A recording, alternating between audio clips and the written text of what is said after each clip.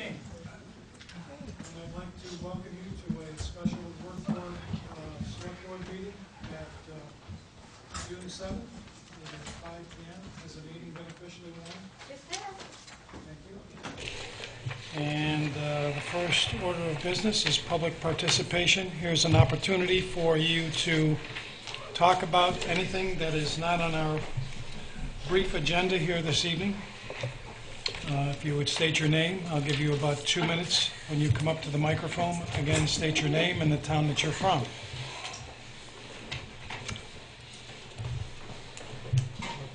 My name is Kurt Daims. I'm from Brattleboro District 2. I hope the Select Board today uh, does not begin public uh, discussion of the That's- NIMS that question- resolution. That question is out of order because this is, I think you're going to start talking about an issue that is on our agenda. I just looked at the agenda, it's not on there. Uh, The new resolution, the resolution, The one we discussed on Tuesday. that's It's on our Yeah, it agenda. is. It's under unfinished business. It's under unfinished business. Oh, is it on that sheet there? Thank you. I'm sorry. Thank you. Anyone else for public participation? Seeing none, I'll accept the motion to go into Water and Sewer Commissioners. I move to convene as water and sewer commissioners. All those in favor of the motion on the floor signify by saying aye. Aye. Opposed? oh. 4-0. Okay, um, the, uh, at the special meeting on Tuesday, I provided the board with a memo requesting that the staffing of the Public Works Department be increased by one superintendent. Um, I also realized that there were questions with regard to the current staffing, did I do already? Uh, questions regarding current staffing, one of those, and the rest can go out. Um, and um, so just to talk briefly, the current staffing um, is with a director, a joint utility highway superintendent, and then the two, um, five divisions. Water has four employees, wastewater has five, distribution has six, maintenance has three, and highway has 13. What was being proposed was the addition of the uh, um, of a super, of splitting the utility and highway from utility, from a joint superintendent to a utility uh, superintendent a highway. Under utilities would be water, wastewater, distribution, and under highway would be maintenance and, and highway. Um, I understand, um, at the board meeting, there was some discussion about the additional costs for the position and also the timing. I also want to apologize for the lateness of my memo on, uh, on Tuesday. Um, The, the proposal adds a- at about an additional, actually about 40,000 um, dollars in expenses. I have 30 in here, it's actually closer to 40. Um, And I also know, I'm sorry? This number here, Uh-huh. can you look at this? And this, Uh-huh. excuse me, it, uh, and then this one here, this says what two superintendents, what would this number be?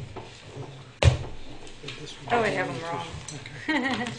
Um, I- uh, So draft motion one. Hold on. So, and I, I know that I've had individual conversations with a couple of board members um, with regard to the timing of the proposal to have uh, two superintendents.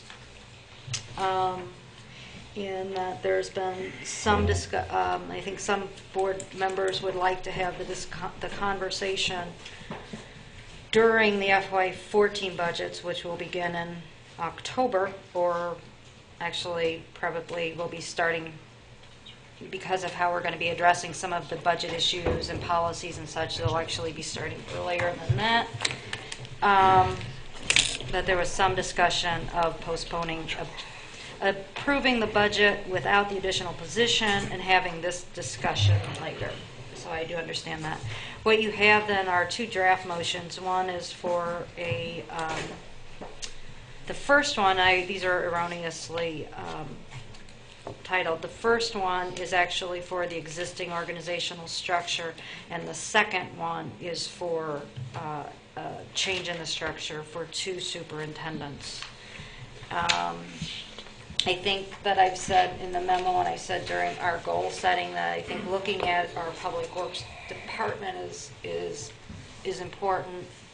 Um, And I appreciate the board being willing to have that discussion. And with this, I'm not sure where we're at, if there's, where the, if there are other questions, or, because we've kind of, we've talked about this utility budget actually pretty exhaustively. I think this is the, uh, the only piece of the puzzle. I think everybody else is pretty set with this. I just want to make sure about the numbers. Yes. Because when I add them up on the paper here, um,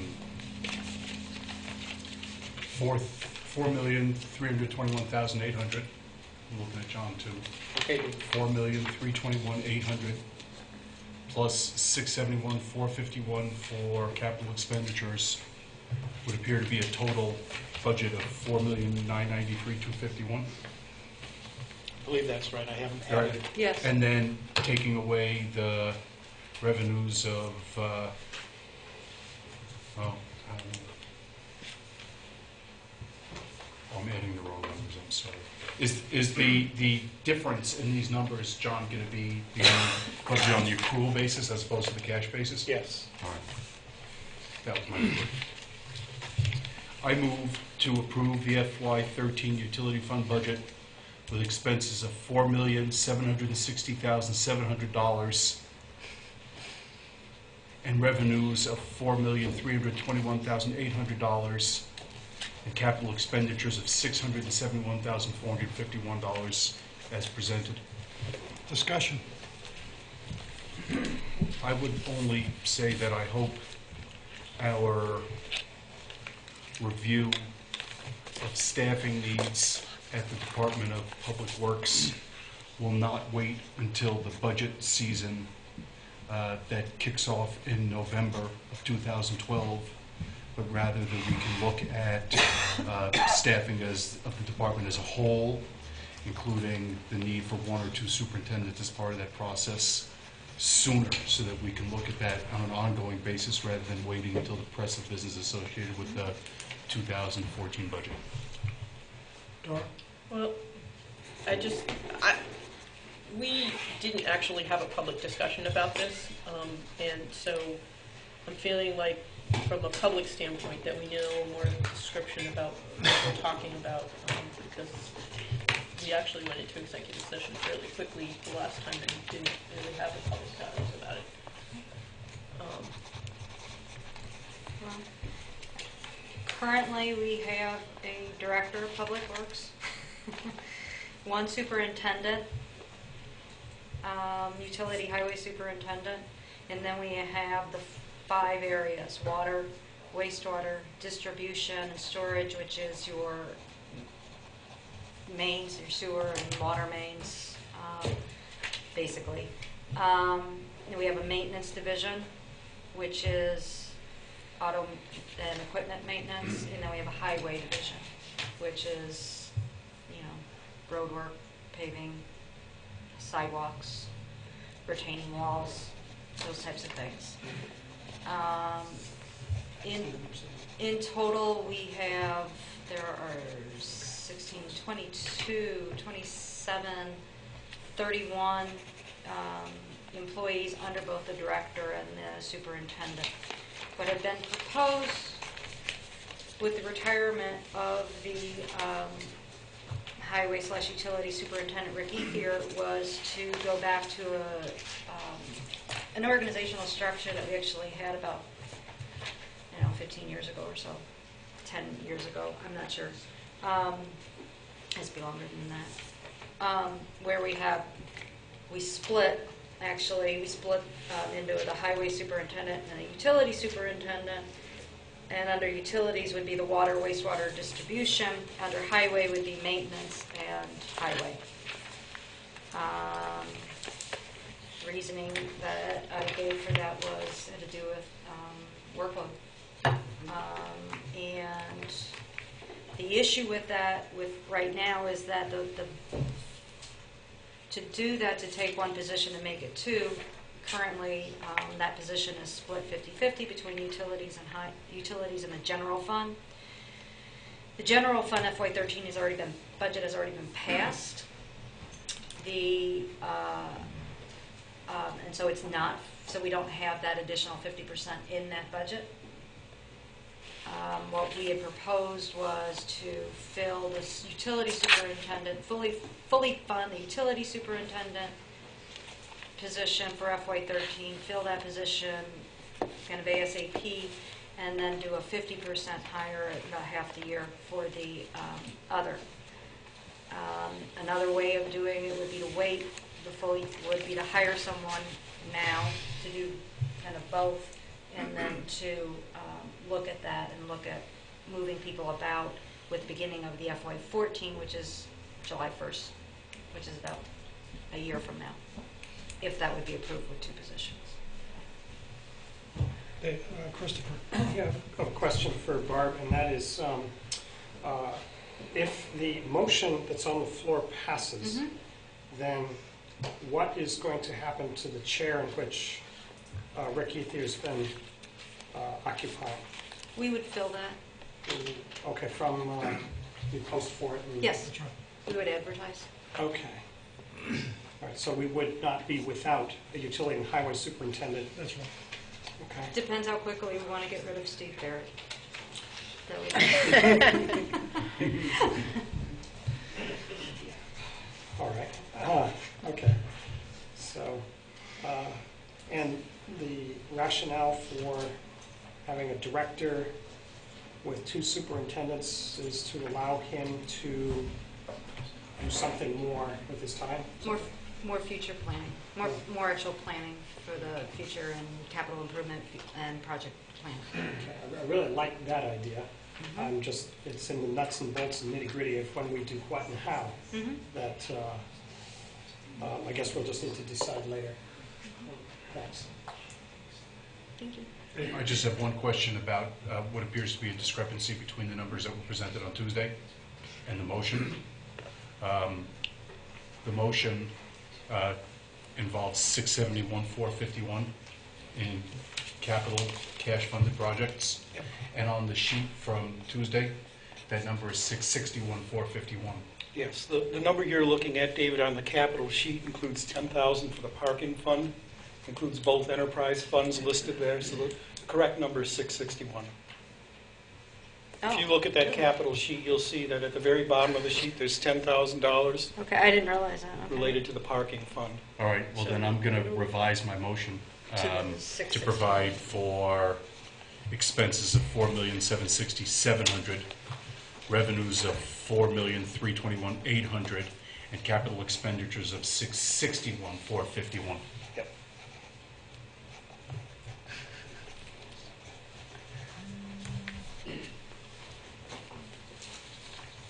Further discussion? Dora? Um, Well, one of the questions I had um, when we were talking about this, i- this idea was um, the value of having more than one person who knows everything. Um, And so, um, so so that if the director wasn't around, or, you know, there there was somebody else that could sort of know everything, and, um, you know, I- what I'd kind of like to get is an assurance that we've got a mechanism for figuring out how to, you know, and it- because right now, I I mean, i- if, if we're changing this and we have two superintendents in each one, then we've got one for, you know, You water. don't, you only have, he, what he proposed was for the existing, I said that, that, he proposed for the existing. That was, he's proposing we stay the same. Oh, okay. Um, Yeah. But the number is different. My motion Was for. was for a budget um, as presented This is where- before the suggestion of a second Oh, okay. superintendent was made. Correct. I think that uh, uh, looking at staffing needs is an important issue, but I don't think we can do it on two days' notice. I- Well, I don't, I totally agree. I, I Are you ready for that vote? Comment by the public?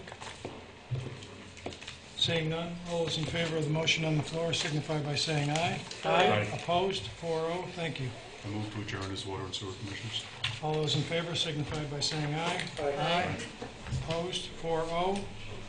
We are into unfinished business, and we do have, just to remind our fellow board members, we do have a motion on the floor to approve the resolution establishing the National Incident Management System as the standard for incident management in the town of Brattleboro. And I will let Barb speak. Okay. Well, I'm sorry I missed the meeting on Tuesday. It was exciting. It was one not to miss. So, um, but I did watch it. I watched it. Thank you, BCTV. Um, I guess I want to make a couple of clarifying comments. And the first is that the resolution before the board is informing the federal and state governments that our police, fire, and emergency operations staff are and will continue to use as our internal policies a standard means of communication. That standard means being the National Incident Management System. No citizen is required to follow NIMS. This is a policy and procedure that we have, that we currently have in place. And what we're asking you for here is to inform the government that, that we are using that. And so there, um, there's no fines for not utilizing it. There's, it's not an ordinance in that, in that case. I think there are some questions about whether this was a resolution, it was like an ordinance, and it, so it's not. It's an affirmation of an internal departmental, in this case, departmental policies. Um, I also want to be clear that in nowhere in the protocol of the National Incident Management System, which we've been using for 15 years, and there was some question about, well, if we're using it for 15 years, but it came after 9, um, it, the 9/11 incident that was only 11 years ago, it's because we were using the um, Incident Command System that was in place longer. Um, nowhere in the protocol does the local emergency management director, the fire, or the police chief abdicate their authority during an incident unless they do so by request. They don't come in, the federal government doesn't come in um, and say, we're taking over here. We keep, con- continue the control, the local control. Um, and the system, the system doesn't violate civil liberties, but it does save lives. And it saves lives of citizens and our first responders. The um, the police chief, the fire chief, and I, as the emergency management director, are respectfully asking you through a resolution to inform the federal government of our usage of the National Incident Management System. We're asking for this resolution now, not because we're changing any procedures, but because we want to continue to receive funding from Homeland Security and from the State Department of Public Safety. Oftentimes, we will ask the board for a resolution, or we will adopt a policy or a certain procedure so that we are eligible for specific grant funding. This is not unusual. Um, With regard to um, wanting more citizen input into the resolution, you can have this input into the resolution. But we must, we must rely on our police and our fire chiefs to institute the policies that they deem necessary. We would not, if, we would not be asking for citizen input on how we, we put out a fire. It really is this simple. We would not have had, we, no one was argued about civil liberties or about whether this was good or bad when we asked for the National Guard to come in during the flooding, and the National Guard did save people. But we were able to communicate. No one asked for, about that, when we had FEMA come in. We begged for the National Guard, and in fact, our irritation was that we did not get the response as quickly as we had hoped. So I truly just hope that this will be put to bed, that the board will approve this resolution. There was a question earlier about what will happen if this, if this is voted down. If this is voted down, the state will know and we could immediately lose some of our public safety funding. That is secondary, though, in my opinion, to the issue, which is we need to trust our public safety and our first responders to institute policies and procedures that they feel are important. And we have today, sitting here, our chiefs, and they feel it's important. So I do hope that this um, resolution passes, and I hope it it passes um, unanimously. David? Procedurally, I have a question, and then uh, I would follow up uh, on the substance as well. Do I need to make a motion to remove from the table, and do I need to make a motion again to Uh, adopt the resolution? No, because the motion is on the table. All right. Uh, Following the meeting on Tuesday, uh, I reviewed both the overview, 11-page summary of the National uh, Incident Management System, and uh, dug out from online uh, the lengthier 120 or 30-page um, description of the National Incident Management System. Um, It seemed to me that the uh, National Incident Management System uh, is exactly what we would hope that our government at a federal, state, and a local level would be doing. Uh, It provides for uh, making sure that we have resources available to respond in the event of uh, uh, disasters and catastrophes. It provides for training of personnel and certification of personnel to make sure that they know how to use those resources in order to respond to uh, uh, disasters and other emergencies. It provides for uh, um, effective communication and marshaling of resources during emergencies, and then for uh, a recovery thereafter. Uh, I, I found nothing in any of the materials I reviewed uh, which would indicate that uh, participation in the National Incident Management System threatens civil liberties, threatens freedom of the press, threatens freedom of speech. Uh, It seems to me that the protocol and the policy as a whole is intended, just like Barb said, uh, to save lives and to keep people safe. And I found nothing objectionable in the uh, uh, summary.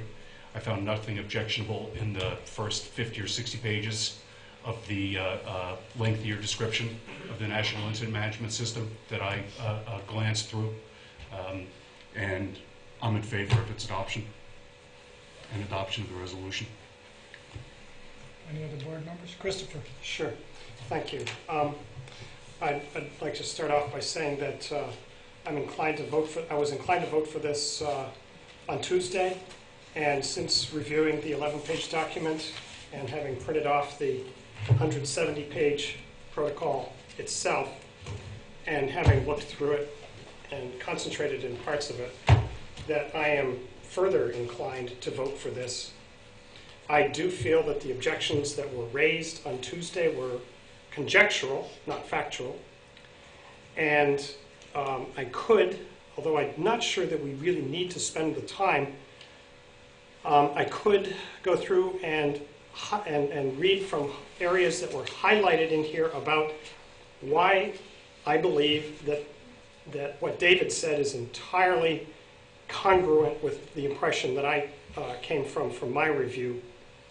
Um, For example, um, in the preface to this, it says that the NIMS is not an operational incident management plan or a resource allocation plan, but it really represents a core set of doctrines, concepts, principles, terminology, and organizational processes that enable effective, efficient, and collaborative incident management. And the word collaborative, I think, is key in here because what it is essentially doing is, is seeking to assure that uh, all the parties involved in responding to a disaster or other incident are, know how to communicate with each other, know who they are in advance, um, and know how to talk to one another.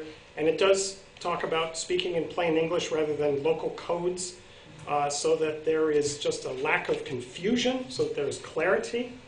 Um, what this does is integrate best practices into a comprehensive framework for use nationwide by emergency management and response personnel in an all hazards context. Um, and these, and, and well, it goes on, and I, and I would be willing to explain my position further. I think that I need to be able to be accountable to those who elected this board.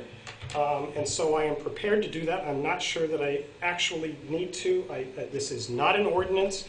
It is, and, and I feel that using my best judgment um, on this matter, which is really what I was elected to do, um, that, uh, that this is a, basically an acknowledgement of what we are doing, what we believe is best in the execution of disaster response.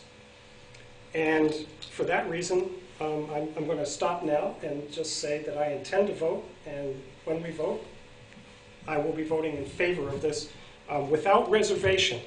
Having taken, nevertheless, having taken into due consideration the concerns that were raised on Tuesday by those who felt that um, there was a problem with civil liberties, and in particular, the right to, to dissent. I, per- went through this particularly with regard to that concern and, and concluded that that is not something that we need to be concerned about following the adoption of this resolution. Thank you.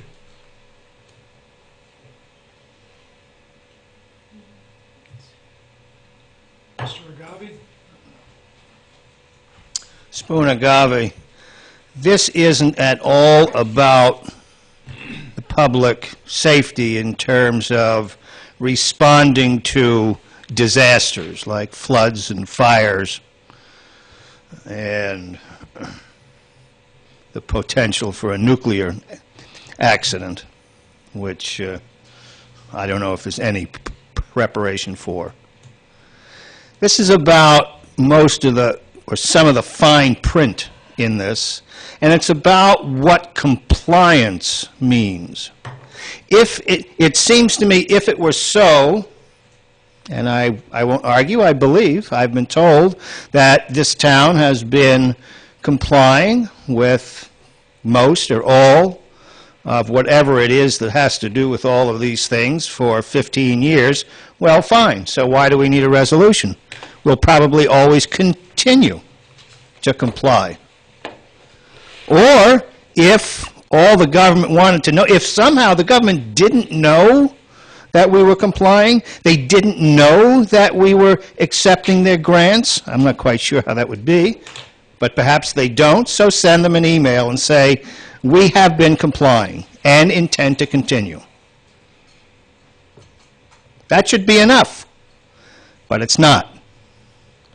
What they did was the government sent down this form. I don't know who actually wrote this, this resolution, uh, but it came from somewhere, probably the federal government, I don't know. And why did they send that down? Why are they demanding it to be signed? Why, uh, I say demanding, uh, perhaps they're saying you may or may not sign it, but if you don't, you may lose all of the aid that you would get from perhaps a flood. Well, it make, that, that isn't exactly then a voluntary resolution anymore. And I'm concerned, and I'm not concerned, this isn't an issue, people like to keep on drawing it back. Well, aren't you concerned about the safety, about fires and floods and stuff? Of course I am, and everybody in this town is. And we all want and expect all of our police, fire, security forces, et cetera, to be as well-trained and as well coordinated in mitigating and responding to these disasters as they possibly can be.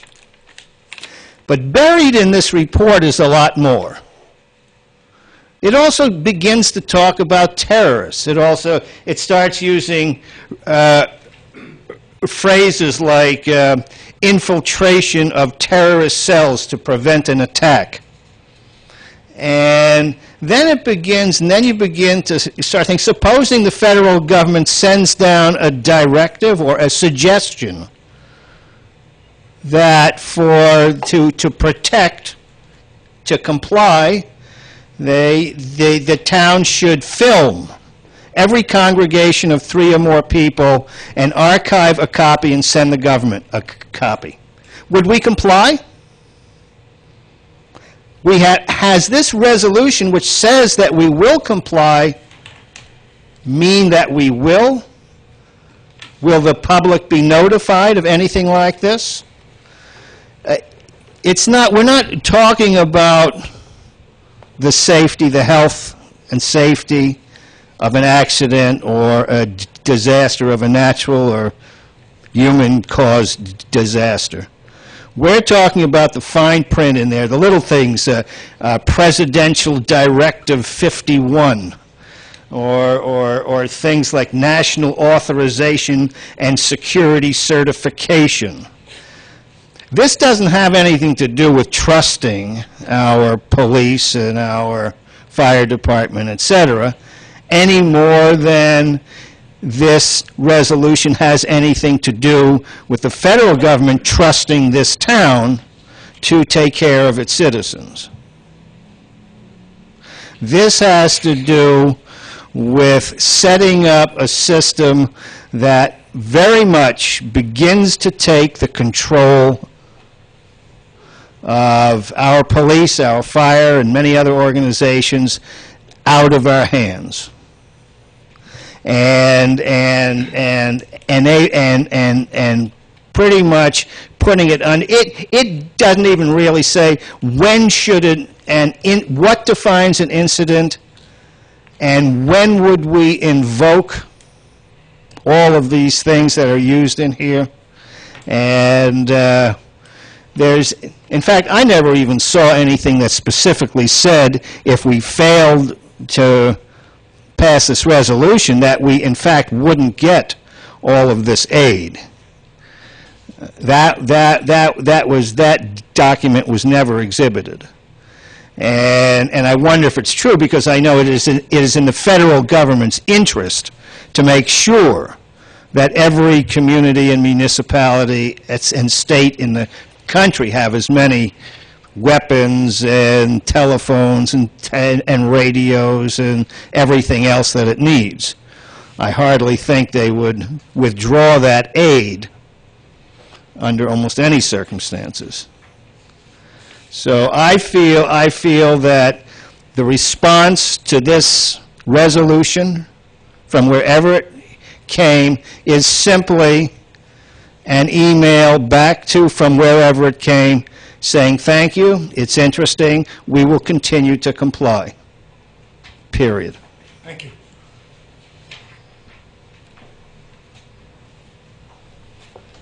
Mr. Daims? This is a very sad occasion for me. Uh, A few moments ago, I heard one of my selectmen say that he was going to listen to us and then vote yes on this resolution without reservations. He stood, he sat in front of us and said he was going to listen to us and then vote as he has already decided. I wonder if this selectman has also read the um, written materials on his desk with the same openness of mind. Perhaps he printed them out and said, I am going to read these, and then I'm going to think just what I'm thinking now, without reservation, and not change my mind. This is regrettably not the proper attitude for a democratically elected official. And it's very upsetting to me. Few minutes before, I heard Miss, I heard another member of the board say that he had read a summary and dug up some materials from the internet. So what are we voting on here? What do you propose to vote on? Something that someone dug up out of the garden? Something that someone read parts of or glanced through?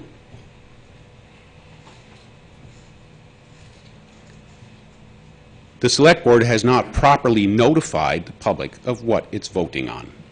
We don't know if we're just voting on four letters, N-I-M-S.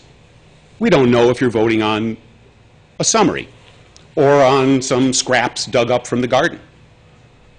And I don't think you know either.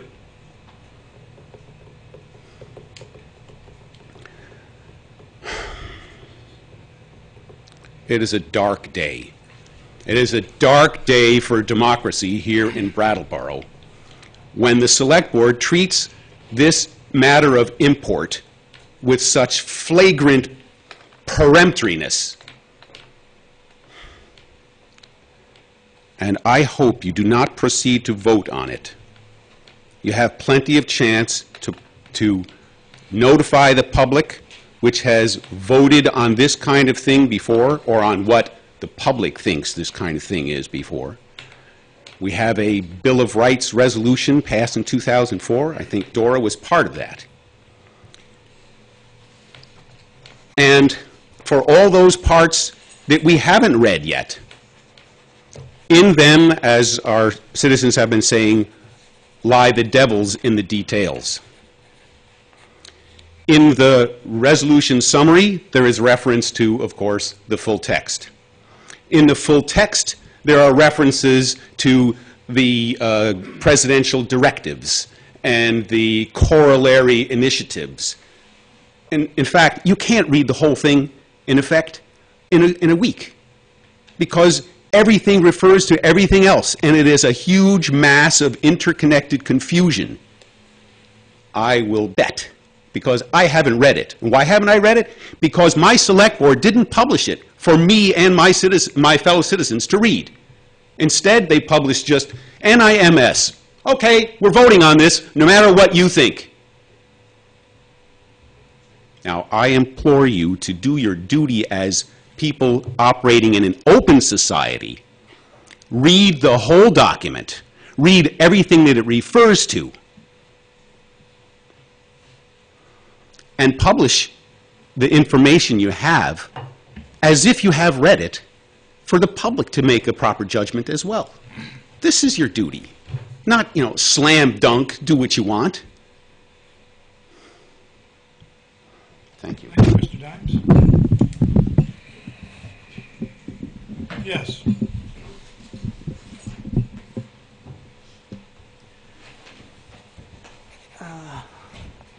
This is uh, only my second day addressing the Select Board. I'm sorry, I'm Watt Stearns, I'm from Brattleboro. Thank you. Yeah, I was going to say that, so this is only the second time I've addressed you, and so, uh, and I just, I wanted to say that uh, I really, well, first of all, I, my, my impression is that the board has taken our objection seriously, myself. I mean, uh, it's a 150-page document, and you read half of it and skim the rest in two days, I mean, that's not nothing. So I just want to acknowledge that. Uh, and um, uh, I, do, I, I do also want to mention that uh, Mr. Agave uh, actually spoke about something that is of, of real concern for me, which is the um, the presence of uh, terrorism provisions. Uh, Mr. Chapman, did you find any language in there? Con- yeah, that's that's really to me that's the that's the minefield where uh, the government is not to be trusted. Um, just as one of the most recent examples of uh, abusiveness in, the, in, in general in the war on terror, uh, the Obama administration has redefined the term militant as any male of military age standing in a kill zone. And so these pers- these people, you know, now regardless of anything they've ever done or anything, whoever they are, just because of how old they are, they're in, we're entitled to kill them.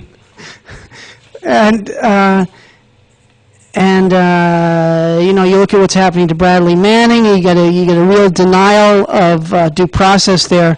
So my my concern very much is you know not at all about um, disaster response, but uh, the misconstruence of protesters as terror, terrorists and the intentional misconstruence of that. And I don't really, you know, I'm not familiar enough with the operations of this body to advise on how to address that. I mean, we may really need to pass this and, and then address those uh, terrorism provisions in some other way later. And uh, I really recommend very strongly that we do that. That is a, a primal fear of mine. Um, I do want to remark also that uh, I, I don't feel um, comfortable with the notice that was issued. Um, simply issuing, uh, you know, um, publishing the acronym of this thing is that's not good. And it, it's it's uh, a reasonable person cannot be expected to know what that is and to pay attention to to it in in in this important proceeding. From that, and I I ask the board to be more careful about that in the future, please. Um, honestly, that that publication is so weak in its fulfillment of its obligations that it's a little bit suspicious. It almost looks as if you didn't want people like you know me and Mr. Daims and Mr. Agave to show up. You know, and so uh, to avoid that appearance in the future, please make uh, you know lengthier publications of notice. Um, one other thing. I had one other thing, but that's it. Um, that's it for now. But I really, I really, I ask, I really ask very strongly, could we please address this terrorism stuff because that is, that is, uh, that's 99% sure to contain landmines for for dissenters, and um, I'm sure you know that uh, in this community that's. Um, uh, a, a reasonable ongoing concern for quite a few of us. Thank you. Thank you. One thing I will say about one of your comments is that the, the board does not do anything to deter people from coming here to speak about any issue or try to hide something so people, like the people that you mentioned, won't come here to speak. This is an open forum, and you're all welcome to speak as you have in the past two meetings, and we appreciate it. So thank you. Thank you. Anyone else? Yes? Now, do I, do You we can have, come- come up to the we microphone, have- state your name and the town that you're from. Mary Rutkowski from Brattleboro. Okay. Do we have to speak to the issue of, of passing this? Because I have, I, I was a little late, and I have some, something else that that I wish to speak of, very briefly. But is this the You know what I'll time? do? After we deal with this issue, Okay. uh, you were late coming in and we're in here for public participation and, and we will hear you. Further comments? Seeing none? Dora? Um, a couple of things. I didn't get a chance to read the whole 170-page document. I was hoping to be able to do that. That's why I would, would have wished to wait until the next meeting to be able to look at this so I could read it. Um, I have to say that I'm not sure, um, it- I, I'm, I'm, because this is a federal law already, I'm not sure any of the provisions that people don't like are, make any difference as far as this resolution or not having this resolution, because it's a federal law. Um, it, it's, you know, it, it, it, the federal law act- supersedes, and unless we have some sort of state law or local law um, that, um, that says otherwise, uh, you know, we're, we're sort of stuck. We're stuck with the Patriot Act. We're stuck with some of these provisions in this NIMS um, legislation, which there are some things about terror, terrorist and issues of detainees that, that um, um, make me very nervous. Um, I, you know, I do think that some of this stuff could be dealt with in policy, and I also wonder whether or not we should be lobbying the state to, um, eh, to put certain provisions in the Constitution to make sure that, you know, we don't have to follow those laws, but that's a whole nother issue. Um, But I would like to read the full document before I pass this. And my only thought is that there are some portions of this that we could take out that don't make any difference as to whether or not we're going to get grants, like the issue of the, the sentence about whereas the National Commission on Terrorist Attacks, um, you know, it, it's, um,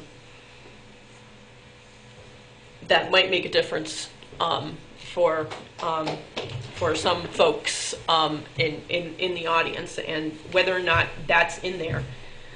Um, I'm not sure it makes any difference as far as the NIMS thing, and maybe somebody could tell me different. Um, so that's kind of where I'm going. But my real issue is I do want to read that full document, and I, I didn't get a chance. It wouldn't let me download it on my phone. Um,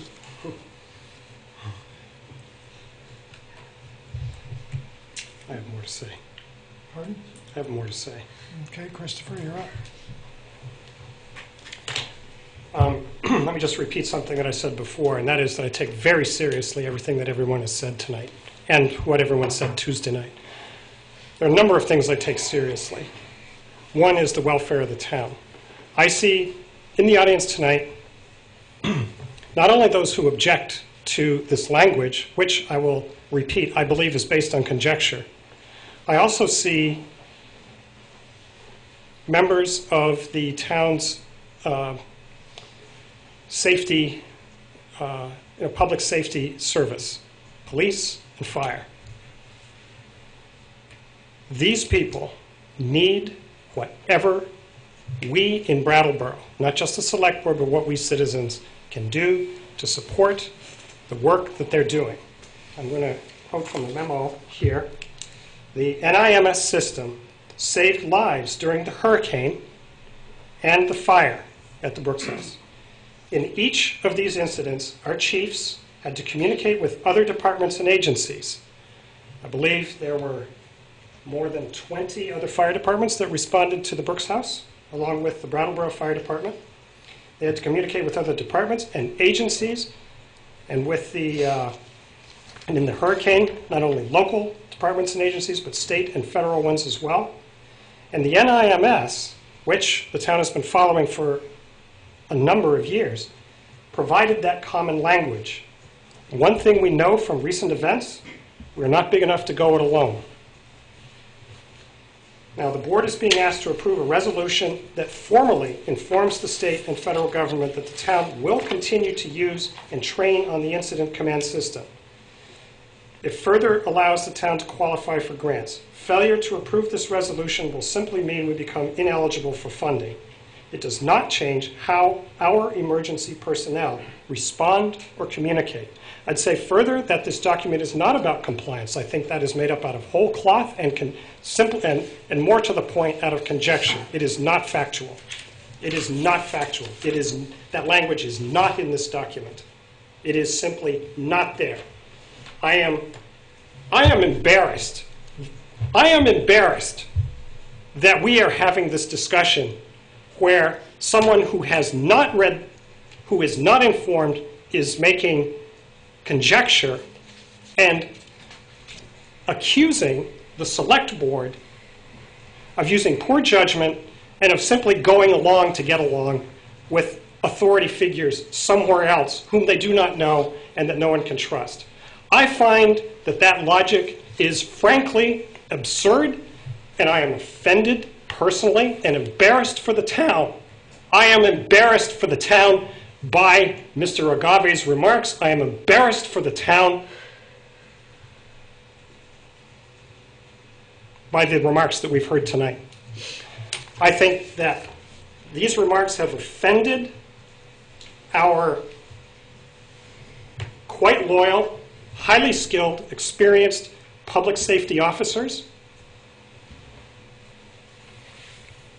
I think that to state that the people who have put their lives on the line are not trustworthy from whatever source, whether it's from the federal government, people we don't know, but whose systems are in place, is sad. It is a sad day. I agree with Kurt. It is a dark day. It is a sad day. And my embarrassment is acute. We have heard that there is a lot buried in here that begins to take language that begins to take control of police and fire out of our hands. Once again, I think it's conjectural. It is not based in fact. It is simply an embarrassing remark. This is a philosophical argument. That's really what I think this is. Whom do you trust? Do you trust the federal government? Is there misconstruence of terrorism? Is there is primal fear that we've heard expressed? I am not addressing this out of primal fear about authority figures. I am speaking out of a real concern for the safety of our community and the safety of those who are providing us with their services in fire, police, and highway management protection. There is accountability on the, in the part of this vote. We were elected to do the right thing. I believe that the right thing is to vote on this. I did not make up my mind about how I felt when I reviewed this. That is not how I was trained academically, nor how I was trained professionally. I took very seriously the objections and the concerns that were brought up. I too am a citizen. I too have read the newspaper. I too have seen the abuses that have been um, suffered by others in, in misbehavior and those in authority. This, however, is not a matter of, of, of policy on who is in charge of what and will tell whomever to do whatever. This is a, a protocol on how, mainly on how people communicate and organize themselves to respond to disaster. And yes, if I look upset, it's because I am upset. I am offended. I am embarrassed for the people who stood up and said what they said, the two individuals. And I'm ready to vote. I have kept my mind open. That is my job. I have, I have done my job. I have kept my word to the voters to do the best I know how. The best I know what to do tonight is to vote in favor of this, and I'm ready to vote. Dora? I'm going to say the same thing I said the other day.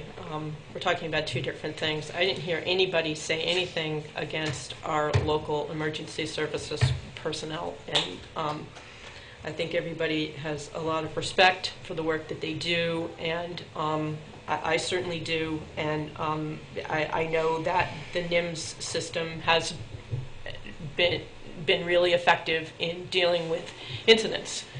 Um, so I don't think um, I don't think anybody, you know, we're talking about, we're talking about two different things. We're talking about a system of management, Yes? which is the NIMS, and we're talking about a larger issue that people have in lack of trust for the federal government. And we know that a lot of these legis, a lot of this legislation that comes out of the federal government, and the state government for that matter, has a lot of convoluted language that can be interpreted in a lot of ways, and people have a distrust for the federal government. Um,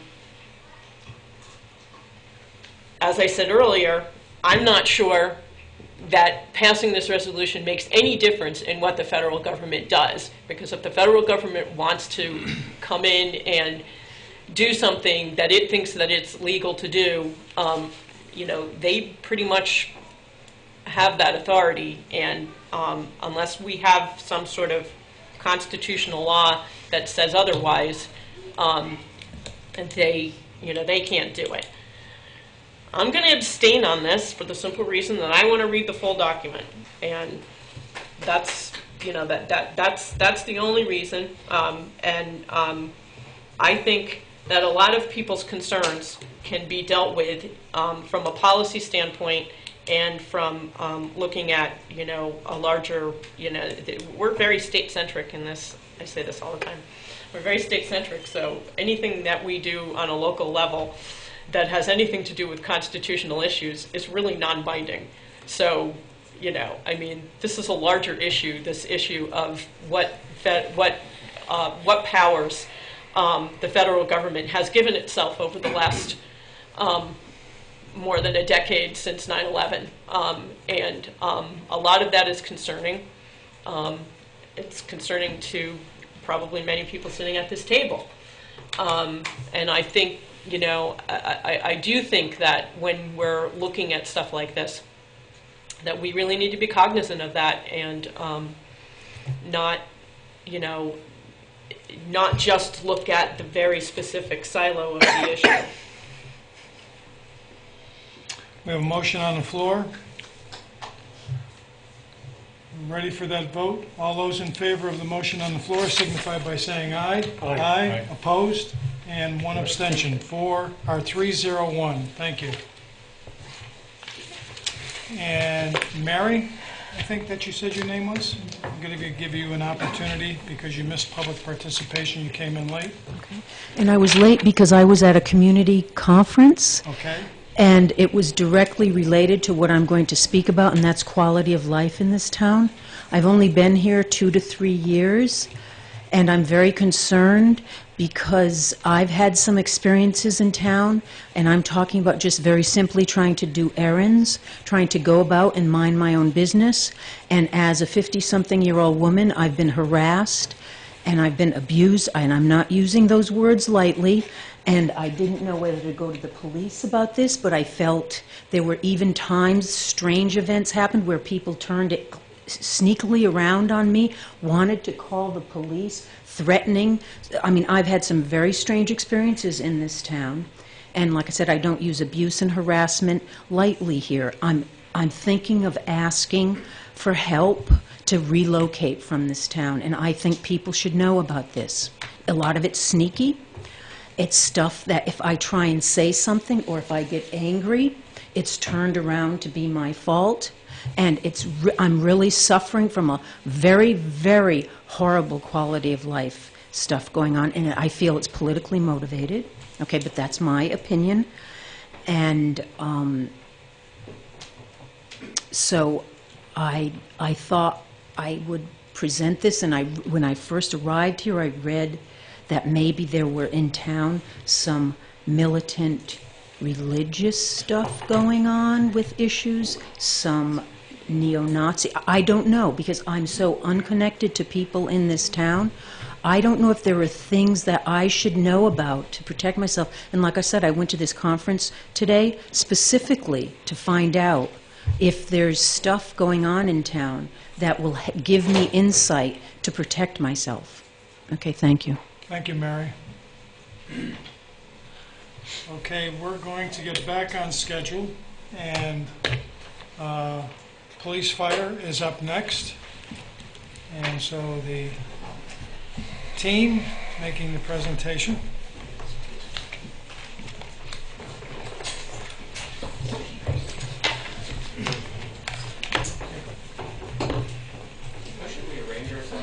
Uh, You're going to be good sitting right there. Facing it? Yeah, facing you. And the only, excuse me, uh, the only thing difficult is going to be having the camera. Yeah, you won't be able to see uh, what's on the screen. back up the camera. Can you move the camera? Can you look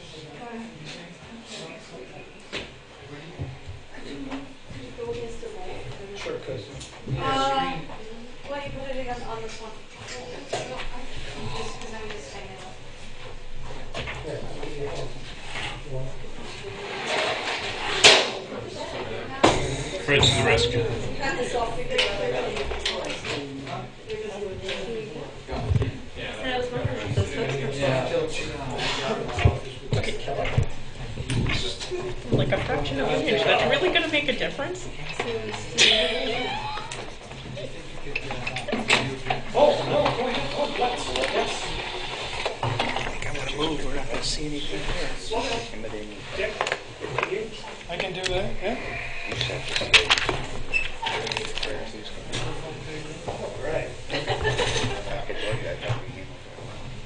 Thank you, I appreciate that. Oh, hey, this way. Over so we can see. Let's see over here.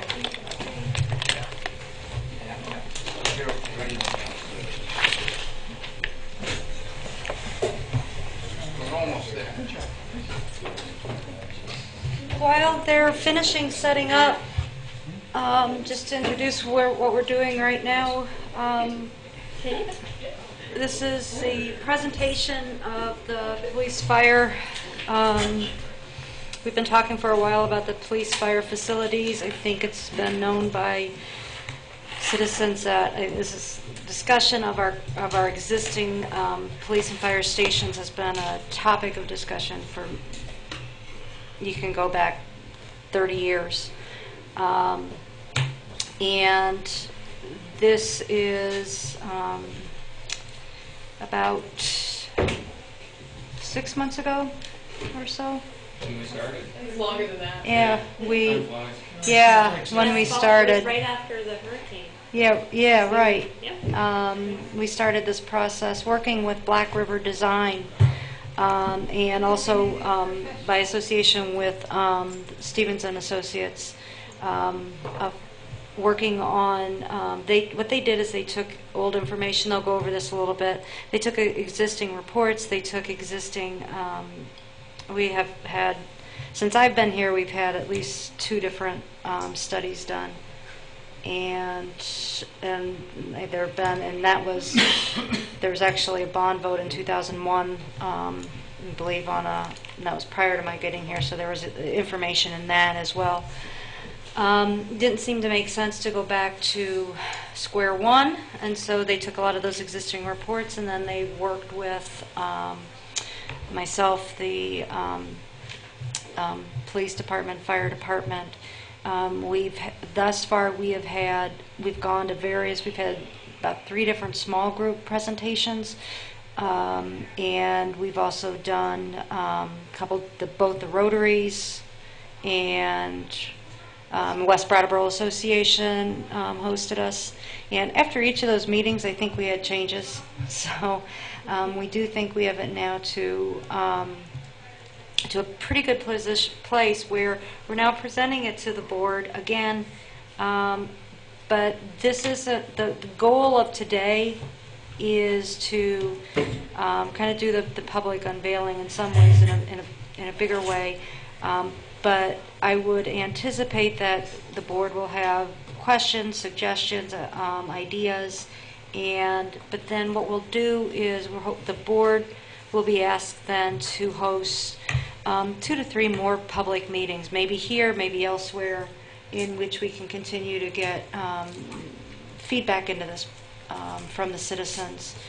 Um, If all goes well, hopefully the board will place, uh, will ha- will ask for a um, a special representative town meeting that would then look for um, um, funding.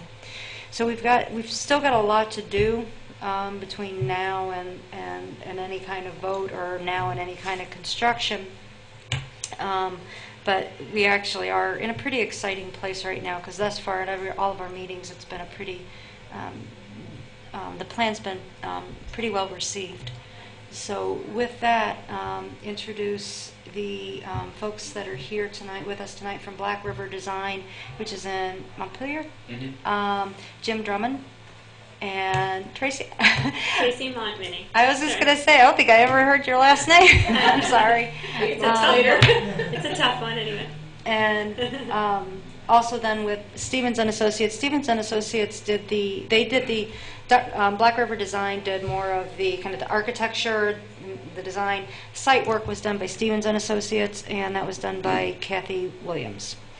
Um, So um, with that, I'm going to kick it over um, to these folks. If at any point in time you have questions, um, board or public, just um, feel free. It may be, um, you know, you can either hold them to the end, or you may have questions as it comes up, so up to you. You're up. I think we've spoken to some of you all on the phone, and met most of you, so it's good to be here finally. You're probably going to need to speak up a little bit, unless, you do you have the um, handheld? I, I can, I can just talk loud. The, um, the purpose is for the TV. The TV. Um, You're actually, you are live now, They so. Okay. There's no magnification, it's, it's, it's the TV. Oh, yeah, okay. so you have to speak loudly for those of us Yeah. in the room, but speak into the microphone for those at home. It's a lot, a lot of stuff to look after here. Um, well, we worked very much as a team, and um, it, at times it's hard to separate what you know what, uh, Kathy was doing, what Tracy and I were doing. But we'll this presentation we'll do it very informally because all three of us have done parts of it and um, have some things to say about some of the different slides as we go through it. Um, it works. Um, the, the first part of this presentation is kind of, the, the kind of preamble is about um, just establishing what, that there is a, a need for some, some things to be done for the public safety provisions in the city, or town. Um, and the first point to make is just that um, it's been 12, 13 years since the uh, last proposal was made. And in the interim, the needs haven't gotten smaller, in fact, they've gotten bigger.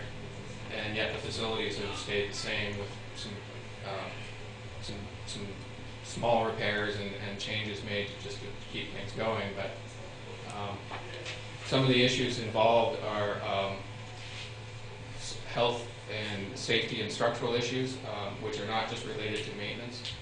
Um, there's also an increase in the, in the call volume that the services have to deal with.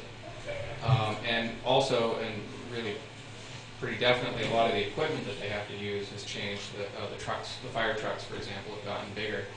And in the existing fire stations, um, for example, the equipment bay doors are not tall enough for the, the contemporary uh, standard fire trucks to get through.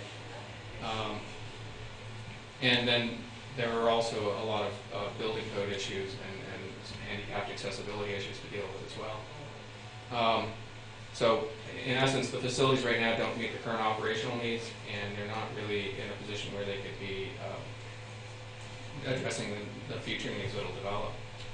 Um, so, we go through, we went through an analysis with our, we, we brought in some other engineers who went and looked at the facilities for looking at them for um, mechanical systems and uh, structural systems and um, electrical systems to, to look at the buildings, in addition to what the departments were telling us about the department, the, the, the, the function of the buildings. Um, so, in Central Fire Station, um, you've got a building that was built in the late 40s. Um, it was added to in the 80s, uh, the little wing that faces um, Spring Street. Um, you've got apparatus bays, as I, as I pointed out, you can see in this photograph here, like the, the trucks are not the standard that are used in other towns.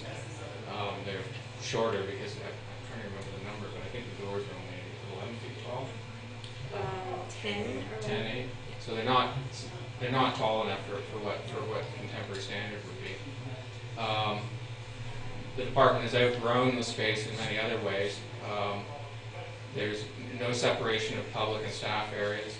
Uh, buildings are not handicap accessible. Not. There's no elevator in them, um, so that the public can't go to the, to use the. Uh, if, if someone's in a wheelchair, they can't get up to the uh, the public meeting room.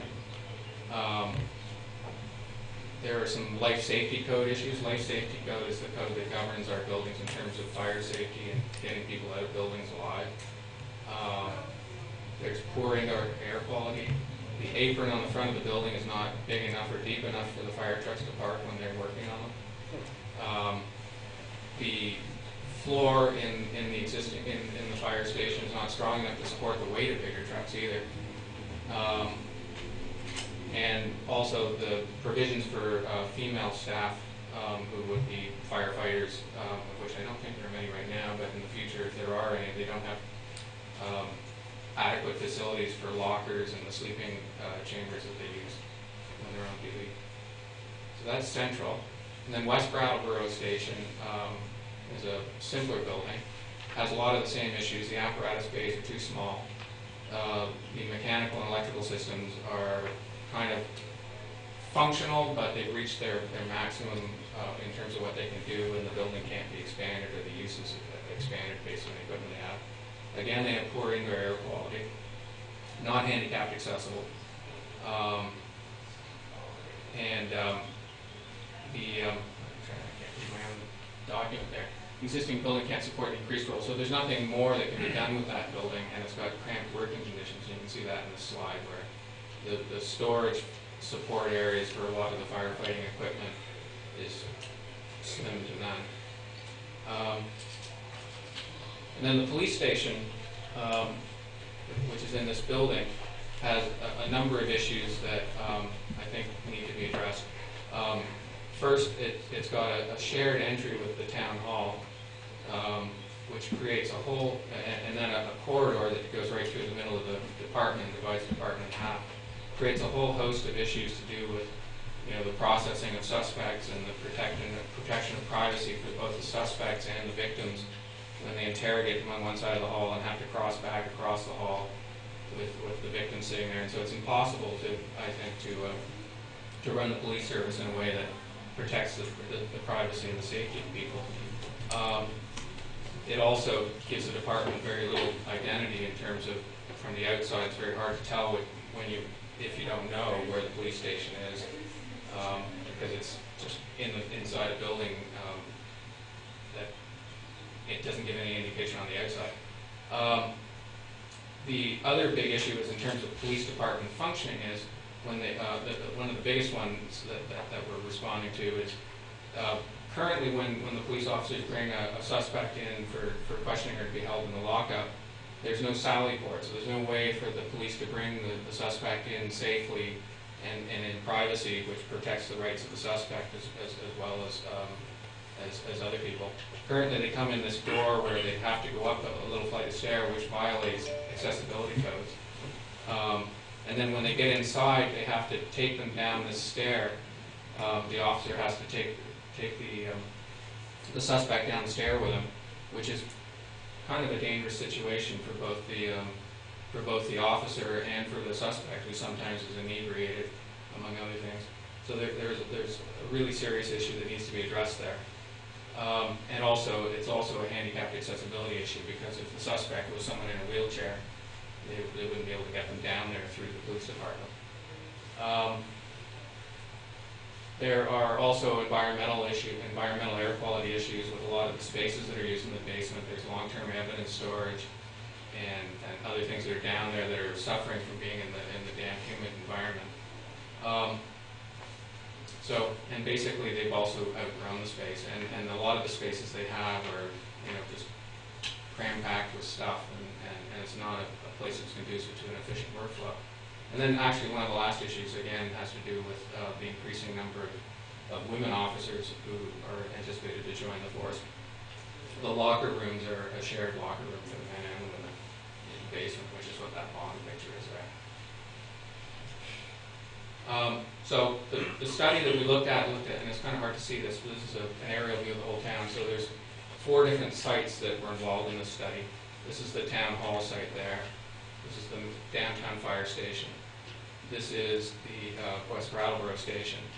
And this is um, a site that was looked at in the study um, off the uh, exit 2 um, at, um, at Route 2 and, and, sorry, Route 9 and exit 2. Um, There's a vacant lot there that was looked at in the previous, in the 2001 study as well. And so the proposals, the, the, the, the options that we looked at, that we were asked to look at by the city, there were four of them. Um, and I don't know I, guess I'll just quickly go through them. The first one, uh, was to do a, a public safety facility, which is a combined police and fire department facility on the same site, which some other towns have opted to do in, in Vermont, and it, it, there's some in- efficiency in space by combining the departments. And so we looked at that on the, um, the Route Two site and exit two site, sorry. And I think that's it there. it? No, it's, That's right. okay, sorry. One thing that's good to know is that this, this site that we actually looked at is smaller than the one in 2001 because we don't have the parcels that would actually provide the connection to William Street. So we were looking at only a 1.7 acre parcel when we did our analysis. Um, So that, that was option one. Then option two was to combine both fire stations on that site and leave the police here in, in City Hall, or in Town Hall. Option three um, was to uh, combine, do another attempt at doing a public safety facility with the police and fire together on the site of the current downtown fire station, which would be torn down. And option four was to demolish and rebuild the fire station um, at Elliot Street, but to, to keep West Brattleboro as, a- as an operating station and to also keep the police here.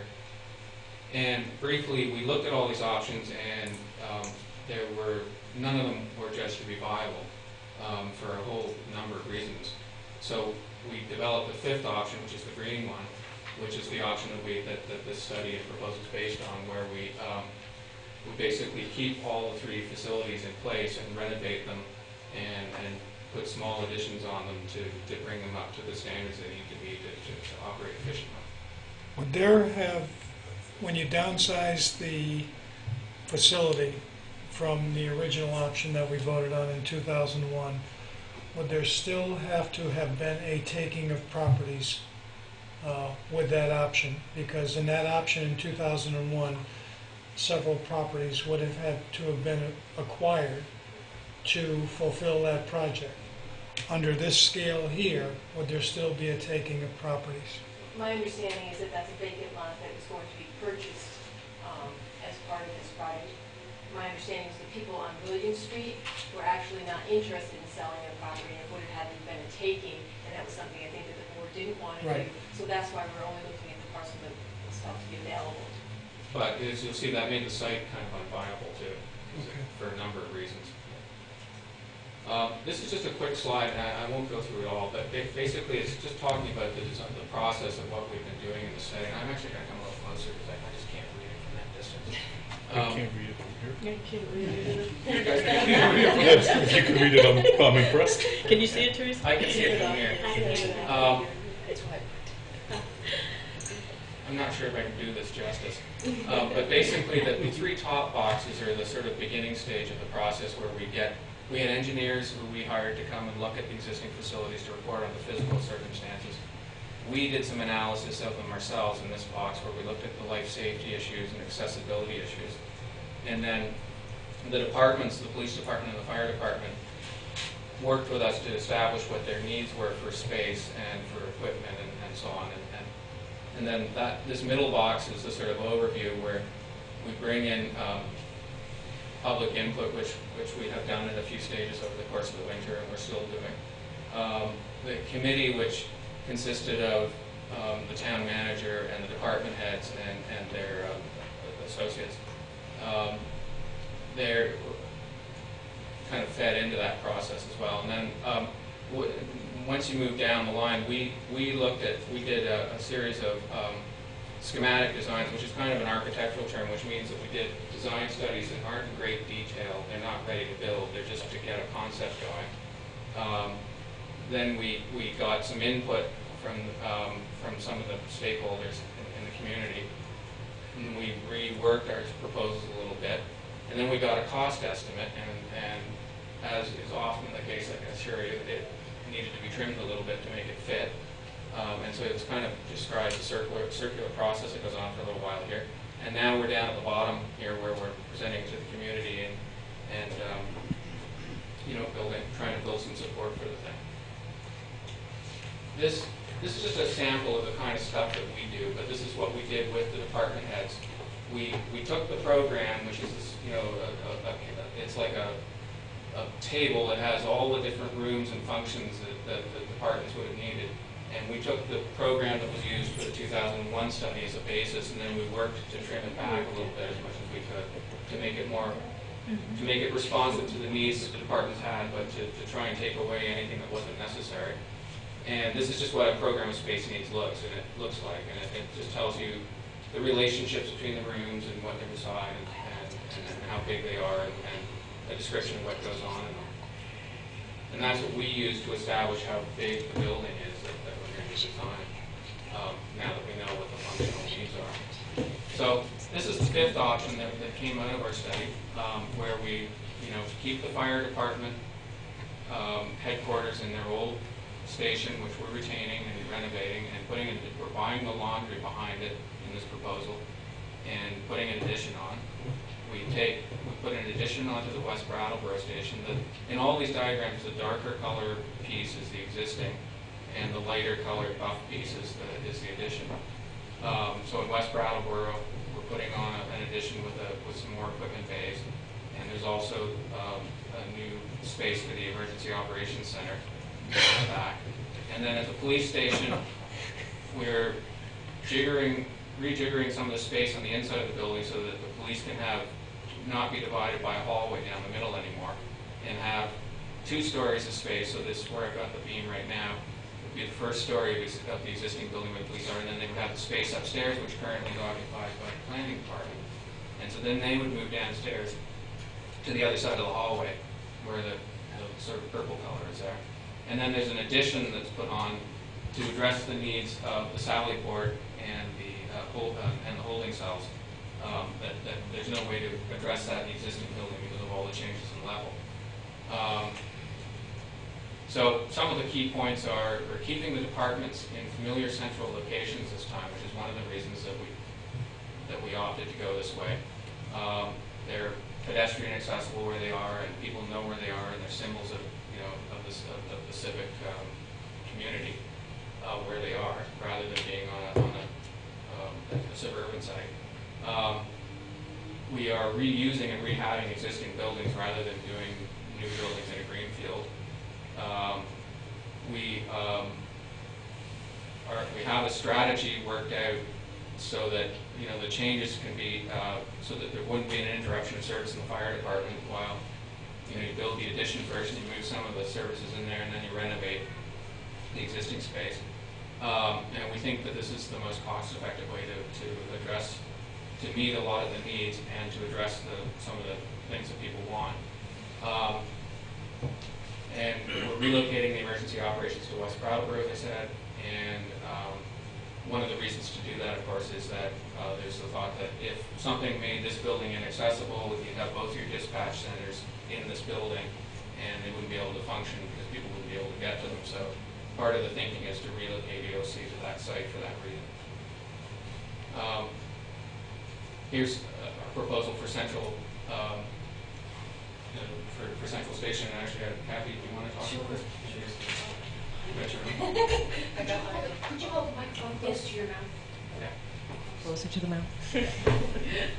Um, kind of just what Jim was looking at in the smaller picture, we're kind of looking at in, in the bigger picture here. Um, this is the expansion, the lighter color that he's talking about. And this is where the new apparatus bay would be on the first floor with some expansion of, a of um, some space on the second floor of that. And the purpose of that is to allow for the larger vehicles to come in here. What would happen is they'd come in and they'd back in here and then come out um, Spring Street. So the orientation of the um, expansion is actually going to be facing Spring Street, and that's the avenue that's going to be used to get in and out for the vehicles.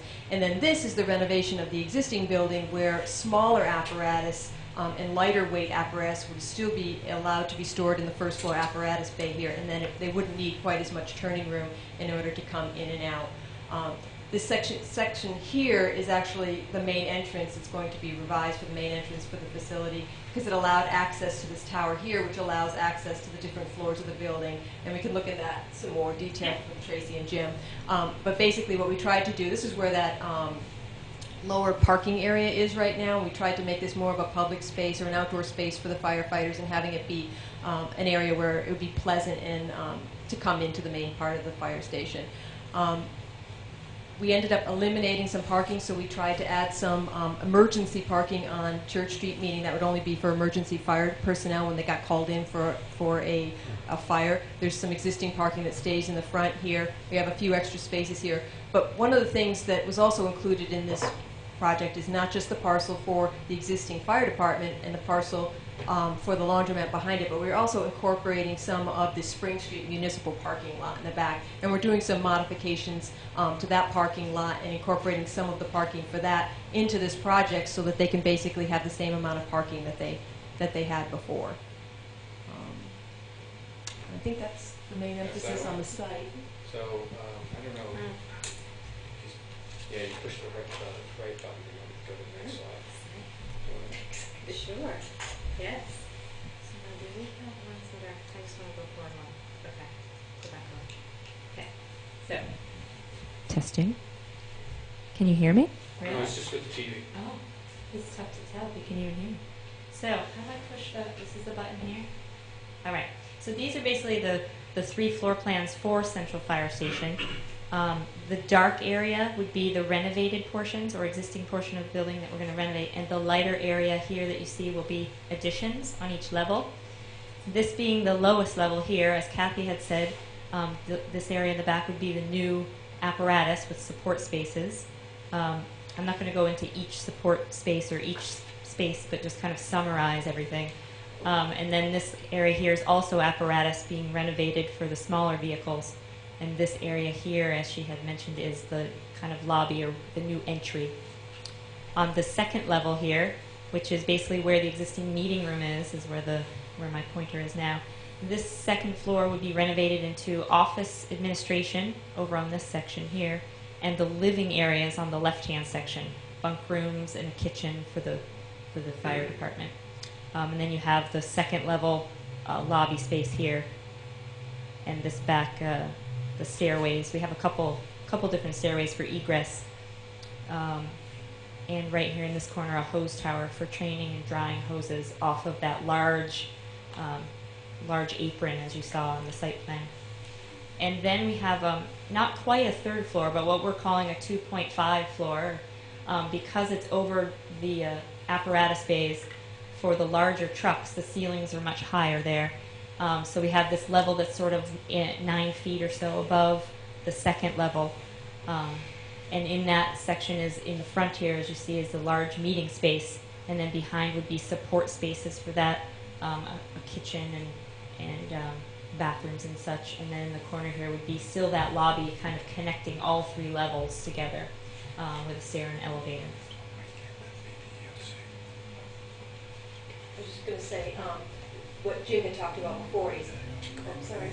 What Jim was talking about before was actually constructing this portion of the facility so that people could move in, move the larger equipment in here, and move the staff here so that it would allow for this, this space, these two spaces to be renovated. So the, the whole concept was to allow for expansion, move in, renovate, so that you can keep the facility operational, because let's face it, we can't shut down the fire department or the police department while these projects are going on.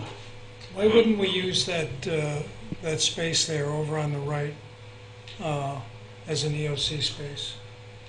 Wh- uh, Which space are you asking about? On The, That half- over, over the that half higher floor. bays. And um, the concern I have uh, is that, one, most of the people who occupy the EOC work in this building. Uh, Secondly, they would have, there's a, there's a time issue with them getting out into West Brattleboro. We've also seen that West Brattleboro is prone to flooding, which would be the primary concern. And so to get to the West Brattleboro station, if we had flooding, would mean that we would have to go through Guilford to get there. I don't think that that's a good plan. I, and actually, you know, when you, when you think about it, probably doing some major renovations downstairs to where the EOC is located would be something that I would consider. And/or, I mean, I know that what you're saying about the power, we knock out dispatch and we knock out here. But I still believe the closer in proximity to where the people are occupying the EOC uh, should, should weigh heavily into that decision.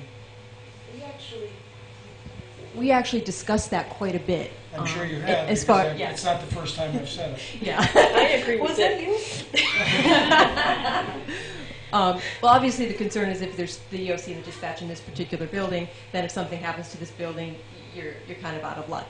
And then um, the natural discussion was, okay, well, let's move it to the central station. And then there was some concerns and um, legitimate concerns that not being, you know, a public safety person, I didn't even think of, but downtown, the biggest source of um, potential hazard for downtown is the railroad tracks and all the freight and the things that come down um, along there. And if there was to be some type of overturning or derailing and you had to evacuate all of downtown, that would be um, a concern if you had the EOC and dispatch both downtown. Um, I also had the same question you had with regard to um, the flooding during Tropical Storm Irene, because I lived in West Brattleboro and I had the difficulty getting home and far as having to go up and around Red Robin's barn to get home. Um, but there were some interesting statements and things I learned from that as well. Is that when you have the EOC, they, they know the, a lot of times the emergency, like the flooding, is already known, and they would have those people in place already. And there was never any actual elimination of access to West Brattleboro. I wasn't aware of this as being part of the public. Emergency personnel always had access over that bridge, was my understanding.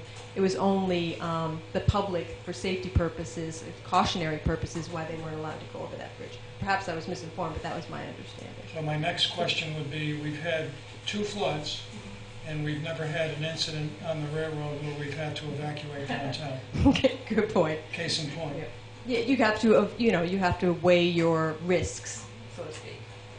So I'm ahead two zero. okay. Uh-oh, I'm not doing so good. Well, I, I share Dick's concern, and I haven't had the opportunity to ask this question before, so, I mean, that's exactly what I was thinking. I mean, I, I, to me, you know, it's a very real possibility that Route 9 could flood, or that bridge could wash out if we had a bad flood. And then, even if the emergency, per- even if the, the, the people are on site, it means that they're cut off from the main part of town. Um, so, I mean, that, that, that really concerns me. I, I mean, I, I also think that, you know, I mean, shouldn't we be setting up a backup command center anyway? So you could put a backup command center in one place in case something happens, and, you know, um, I mean, there should at least be computers and things ready for a backup command center. I mean, we shouldn't just have one. Um, or it should Just be EOC, easily mobile. Um, so I, you know, I- but, but the idea of putting it out in West Brattleboro with the propensity for flooding um, doesn't make any sense to me. I didn't know, Mike, if you wanted to weigh in on this issue? Jean? A lot of what Kathy um, spoke to as far as getting the EOC out of downtown, um, I firmly believe that West Brattleboro is the place for the EOC. Um, Some of the issues, Dick, that you mentioned, uh, time response to the EOC, um, that doesn't really play a factor in manning the EOC. Um, I think that for the most part, we know well in advance when we're going to man the EOC unless it's, uh, you know, something that, that really is a catastrophic event. Um, As, as far as separating, getting separated from the downtown area, we've always got access through Guilford, um, through Marlboro to get into West Brattleboro. Uh, we may lose Route 9. Um, again, Route 9 during Irene, even though it was shut down, was still accessible to us. Um, Station 2, the general area around Station 2 was never in jeopardy. Um, There was areas west and east of Station 2 that were flooded. And I really believe, I'm a firm believer that the EOC should be a dedicated area to blend it into, whether it be a meeting hall, a training room, whatever, uh, defeats the purpose of the EOC being ready to use. As you said, uh, Dora, the computers, everything should be ready for use. And if they're in the meeting hall, say at Central Station, it's all stuff that's going to have to be set up. There'll be a delay in setting up. Uh, I just believe firmly that an EOC should be a dedicated area for the staff to, just to go into and get things up and running. I I have another operational question, so maybe, Chief, you can keep the, the mic. I've wondered, uh, since hearing about the plan to have the uh, main fire trucks out in the back, uh, new construction, um, whether that is the optimal uh, uh, operational plan. My uh, um, initial impression is that having the trucks ready to exit right onto Elliot Street from the current doors um, would seem naturally to be a, a better uh, uh, sort of operational model. And I'm wondering if you can speak to whether there is any loss of operational efficiency from having the trucks in the back and needing to come out Spring Street. We've looked at, and I'll, I'll let um, Jim and Kathy and Tracy answer some of this, but from the architectural standpoint, but we have looked at both options. Um, If I remember right, in the ton of discussions we've had, it's going to be financially restrictive. We looked at trying to tear down a portion of the existing central station and filling in the basement. The problem that we're encountering is that due to the, the modern trucks, the weight of the trucks, that uh, structurally, the apparatus floor is becoming an issue. There's no way to secure that from underneath short of filling the basement, from what I understand, and I'll let, let the, the experts here speak to that. Operationally, I think we're okay. I'm sure we're okay coming out the way it's designed. Um, Spring Street is small, but I think as this project moves along, there's some things that we can look at and possibly suggest going forward to, to help us correct some of those issues. Well, let me, let me follow up, because as, uh, as Jim was talking before, I wrote down, when you were talking about the uh, renovations to Station One, and I wrote down, I know that we have floor issues in Station, Station One. And so, how can we do a renovation in Station One and not address tho- those floor issues uh, that Mike was just talking about? I, I think that the problem is, well, in this uh, design we've got, the existing station bays would be filled with the smaller vehicles, the the equipment trucks and things like that, which it, we, we understand that the slab is strong enough to support. It's more if they, the big hook, hook and ladder trucks and things like that, that, that it can't, that it can't hold.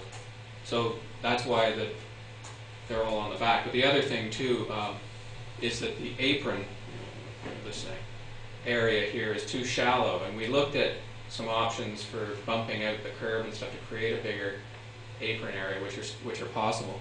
But back here, we've got enough apron for the trucks to be parked there, and they can work on them and stuff like that, and when they're outside.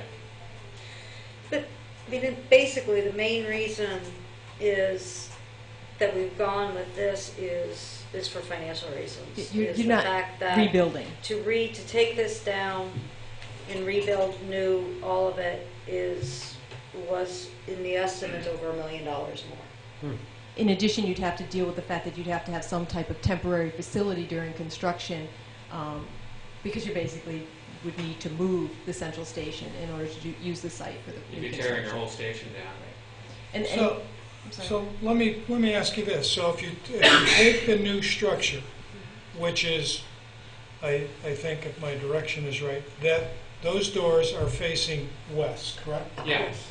So if you take that structure and you turn it around and you have it face the, the, the egress facing the existing station, is there not enough room to build the station behind and then totally take station one down? I, oh, and take station, take the old station down? Take the old station right down. Yeah, you would have to take the old station down to do that. Right, I, I'm saying that, that we take the old station down, and you, you, you might add some space, and then you could sw, you could actually swing into Spring Street.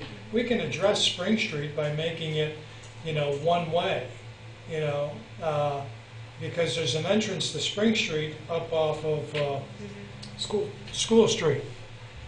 So you could keep the existing facility, isn't there enough room? You can't go down from School Street onto Spring Street with an He's, apparatus. well, he's not talking about apparatus. What he's, what, it- I'm what Dick is about- asking is, is it, is it possible to address, so, yeah, it may cost more to do that, but is the, to address the issue of what do you do with Central Station when, how do you keep somebody, a presence there? Can you build the new and then work out of the new in some way while you're taking down the old? Not You if know, you're trying to get essentially, doors what, on this- Not if you're, yeah, right. On the How do you south get- side. you would have your apparatus outside. I guess so. That's gonna take a lot, this is a fairly, this is, sorry. Sure. I don't, this is a fairly substantially built facility. To tear it down is going to cost a certain amount of money. How It's much going is to it take a gonna- certain amount of time. How time. much is it gonna cost to renovate? What's the cost oh, for the renovation of that building? Do you remember the, I, I, The total cost of the renovation? If, I guess what I would say at this point, is this something that, I mean, it's come up by a couple different people, is this something you would want us to look at? The Well- board would want us to look at? I, I So think. to get more specific information. I think one of the things that you have to look at is the cost of new construction mm-hmm. versus the cost of what it's gonna cost us to renovate Station One, mm-hmm. and could we get a whole new facility without doing that renovation? We in actually there. looked at that. Did you And that's look when at it came, Yes. yes, and we did, we basically compared apples to apples with the different architectural programs and laid it out on each, each way, with a completely new project here, and then with the expansion and the renovation, and it was over a million dollars. It was a and that little didn't over a even million take into- dollars Million and a more. half, Right. actually. Yeah. Yeah, and it didn't take into consideration the temporary lo- relocation that you would need. Remember, this is the square footage that we're talking about, that we would need. So if you're talking about having something in the back, you might even need to put, you know, third story on there or something in order to even have, have that. But we did look at that. Because that was actually one of the original things in the proposal um, that we responded to. Option number four was to actually have, remove this and construct a new facility. And we looked at that. We saw how much it was going to cost, and we felt it would be more cost-effective to renovate. I mean, it costs less per square foot to renovate this building than it costs to buy, or to build new, the expansion area. Christopher? Uh, I got two questions. One was, um, is Spring Street going to continue under this plan uh, to be a public two-way thoroughfare? Yes. Okay, so how, that's a follow-up, I've got another question about the, the building. Um, How would you deal with trucks trying to get out while cars are trying to come in? I mean, could you see I a think truck it's- trying to get out while, after a, I think it's the same thing when you have um, any traffic on Elliot Street when the sirens are going, you know, as the doors are coming up and people are getting out of the way before they've actually probably cleared the bay doors. And I don't know if you have anything to offer on that. So I think once people hear the sirens, they're going to get out of the way right away. We were at Keene, actually, at their new facility, and they have the same issue with some of, some, some of their trucks come out onto the main drag, some come out onto more of an alley.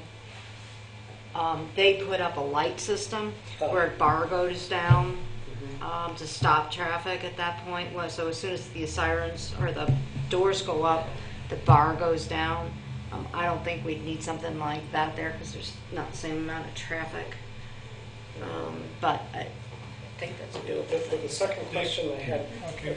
Yeah, was, was about, um, in the renovation, uh, you're gonna have to address the cracks that have been, that have appeared in the, in the walls. Can you tell me about what, what you, what that's all gonna We entail? had a structural engineer look at it. And I'm gonna let Jan and Tracy talk about that. Yeah, our- our, our structural engineer came, um, and, and came twice actually, and, and the second time he came in response to some concerns about some cracks in the hose tower. Um, there's, there's kind of a catwalk that was kind of separated from the wall. Mhm. But his appraisal of the building is that, you know, it's, uh, I mean, how many years old is that? Is that about a sixty-year-old building? Um, and it's built out of reinforced concrete.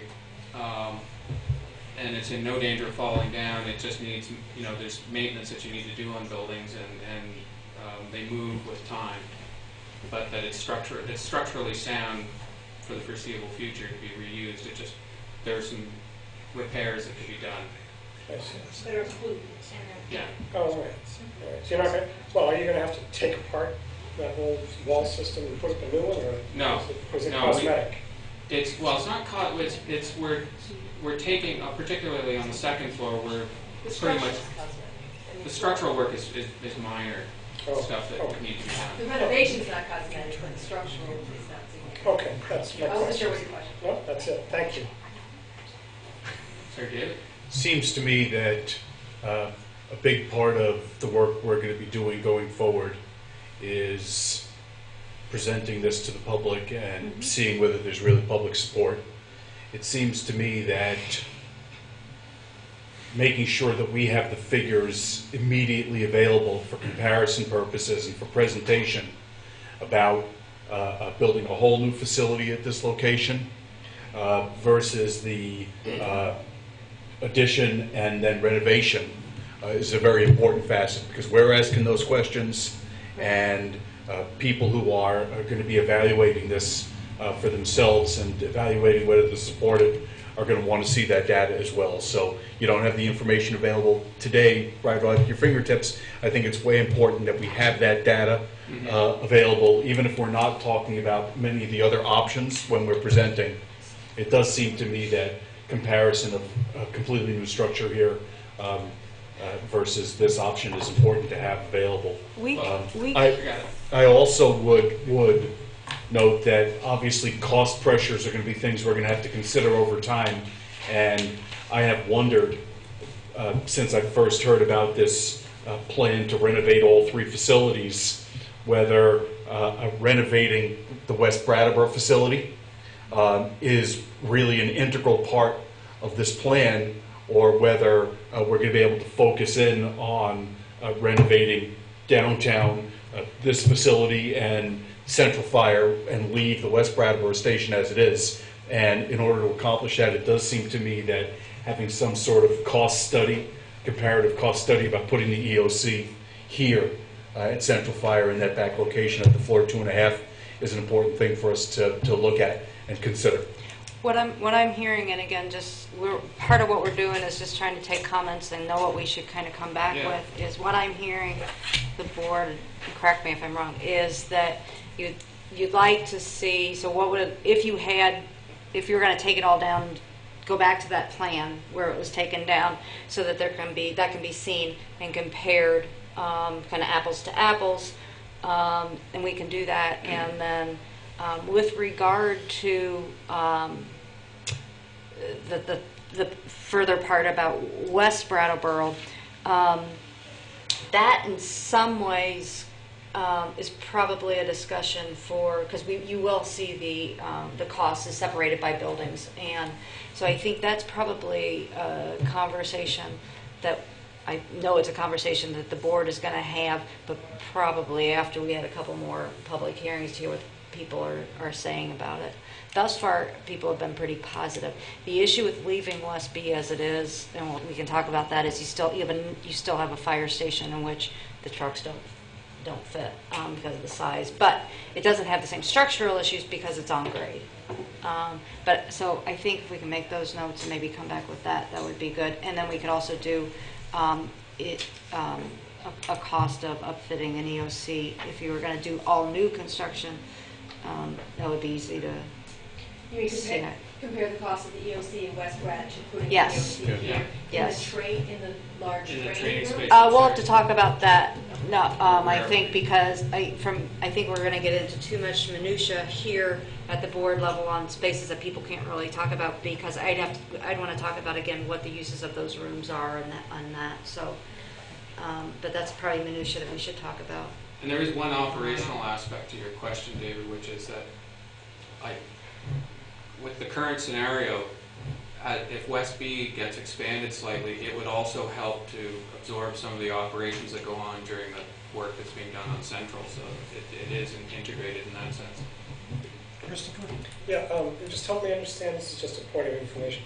Where is it that, that we're envisioning the emergency operations center to be after this is all done? West B, It would be in in the West B office. Our current Yes. proposal is Our West our Brattleboro. proposal is In that addition, must that's the be, back. two, two board members are feeling station oh, one. put it in Station You'll, yeah. you'll see this as we keep Yeah. Moving to West actually. Brattleboro, so we should probably just Two, keep two moving of us have forward. raised issues about it, so. So, these are, we, we've done some exterior, um, model sketches of it to give us all an idea of what it looks like, and you can see it in this, from the corner of, um, Elliot and, and Church Street, looking, um, west, well, sort of northwest, there's the existing station, pretty much exactly as it is now. And the darker red color is the addition, and you can see it's enormously taller, and uh, that's the- a reflection of the fact that the trucks inside have 18 feet of clear space To the bottom of the to structure. the bottom of the structure inside the garage, and that's a requirement so that people can work on top of a truck while it's in the garage. Um, and they have 14-foot doors that, that get the vehicles in and out. And so, oh, so what we were saying before, um, the space that's above, this is the, what we call floor two and a half here, um, is, is quite a bit higher than the second floor in the existing station, but that's just a fact, that's just a fact of life because the, the space is so much taller below. But Um, it does seem to fit into the landscape though, because it's, Because the hill's going up, yeah, it kind of varies. In fact, most of the equipment bay is behind the, the, the slope here. And it's, you know, the wall is actually a retaining wall to hold, to, to hold back the ground. Um, So, Uh, I would like, well, Doris first. I, I just have a question because you were talking about the height of the doors. So we have an issue with the doors not being high enough in the old building. yeah, Does it make sense to make one of the bays higher than 14 feet on the new Can't. addition? you can't, because it's where, the, the, the doors go to where the ceiling is, and the ceiling, it- it's, the thing is built, um, like a bomb shelter, I mean, it's, it's, it's, in- No, It's a- no, I'm not talking about in the old building. Oh. I'm talking about in the new building. Because in the old building, they're 10.8, right? You said. yeah. So, so you're talking. You were you said something about the bays, the doors being 14 feet high. Yeah, that's, what- that's what it shows here. Um, in the new in Yeah. the new building. And what I'm asking is, does it make sense to make one of those bays higher than 14 feet oh. to Oh. pro- to to anticipate the possibility that there may be equipment taller than 14 feet, so we don't have this issue again? Bridges typically aren't that tall. They don't Yeah, that's, that's exactly the thing, there's very few overpasses that you can drive through that are, isn't 14 feet sort of a, Thirteen eight, isn't it? 13 eight, yeah. Is that, that sounds right. Let me ask a, a, a question about timing on the lifespan of the equipment. Chief Bucossi, um, as I understand it, there's a, there, there was one piece of equipment that was ordered, a ladder truck, I believe, it had to be modified at great expense in order to fit it into the existing garage. What is the expected lifespan left on that piece of equipment? That truck is going on 13 years old. Um, It's in the capital for replacement, I believe, in- in about five years. Five years? Um, Okay. That, that, without looking, is a guess, Chris. Okay. Um, So that means 10 or 15 years. Yeah, I was gonna say more than- Uh, Dog years and cat years? Do you want a building or you want a new truck? There's there's no doubt, you know, it'll probably get pushed out um, anyways in the capital, Um, but that's where it's at right now. I see. So we're not in a hurry Yeah. to replace that piece of equipment? Not yet. Okay, let's, uh, s- uh, let's see if we can get through this. Okay, so this is just a, a view from the s- uh, Spring Street side, showing, you can see the, the addition and the space above it. And you can see the new tower, the hose drying tower, which is also a, Sarah, what did you want to do? Oh, yeah. You can see also uh, the tower, which is uh, a hose drying tower and also a training tower for the, for the firemen. And this is West Brattleboro. Um, do you want to talk, Kathy? Sure. Sure. Um, Basically, this is Western Avenue, this is South Street, it kind of has the little um, area that goes around the green, and this is the existing fire station here. What we're proposing is to having two single-bay expansion over here, but also leaving enough space to possibly turn that into two double bays in the future, should you need it. Um, Kind of building in some future expansion there. Again, the vehicles would come in and out this way and face onto South Street. Um, one of the so this is the expansion for the apparatus bay, and then this is the single-story um, EOC structure um, that we've been talking about. And then what we had to do is um, right now the parking is kind of in the front here. Now that we're going to be putting in the um, expanded apparatus bay, we have a little driveway coming for some parking that's happening behind here. Um, we do need to widen a little bit South Street in order to give the move, the turning movements that we need for larger um, apparatus. Um, and this here is the Academy parking lot. And one of the things that this, um, that this proposal also addresses is cleaning up that sort of informal parking patch that's there and getting it off, giving the green back to the city, the town and the community and, and getting the parking behind the building where, where we don't have to look at it. But it also services the uh, EOC function better. And where in there's the EOC? Okay. Here's the plan, and and I'll you'll- I'll show you a three-dimensional view in a second as well. So on the first floor, uh, what's shown as renovation is actually very light renovation. Our strategy is to do as little as possible to the existing station so that we don't get kicked into the need of having put an elevator in it, which will jack the cost up a great deal. The EOC is this space on the back, and tho- those are the new equipment bays there.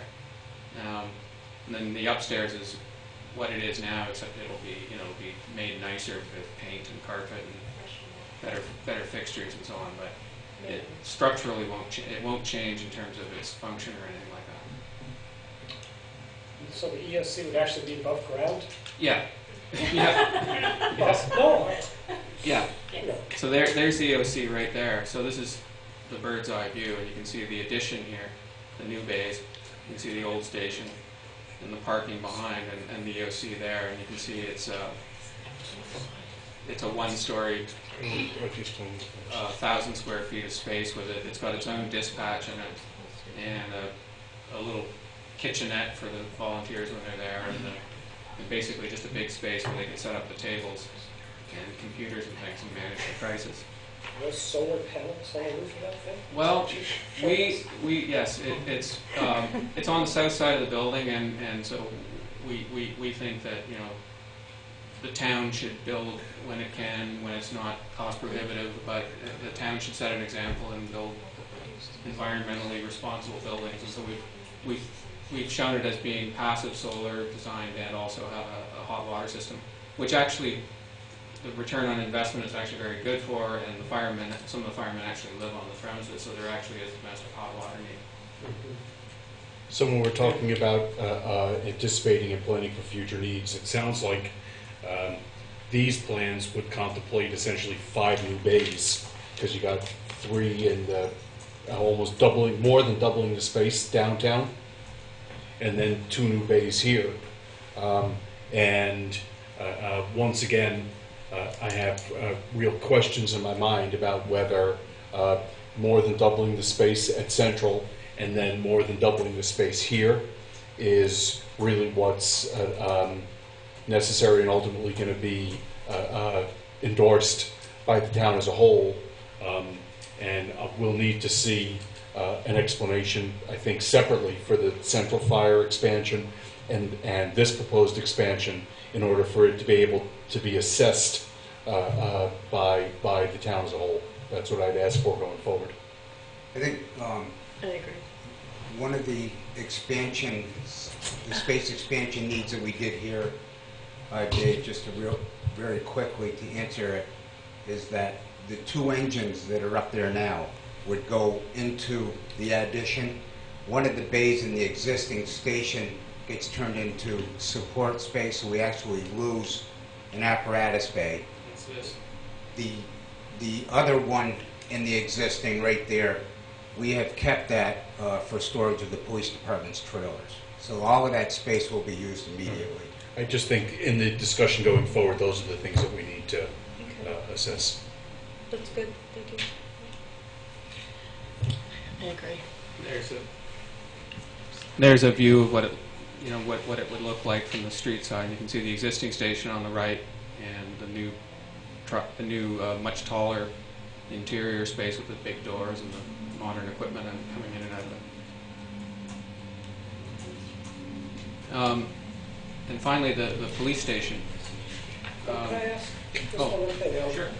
Would your, I, I see these designs, giving us these simple drawings of these. Um, Would there be, um, would you be drawing in in your architectural experience uh, and echoing any of the architectural features surrounding the properties? Well, in the case of this one, what we did was, there was, in the committee that we were working with, there was a feeling that since the existing station's gabled and it's in the village, where most of the structures have gabled roofs, that this should not be a flat roof structure, and that, so we, it's not designed in great detail, but the idea is that it's a simple, um, gabled kind of structure that could resemble, um, a small barn perhaps, or, or something like that, that, with the form that it takes.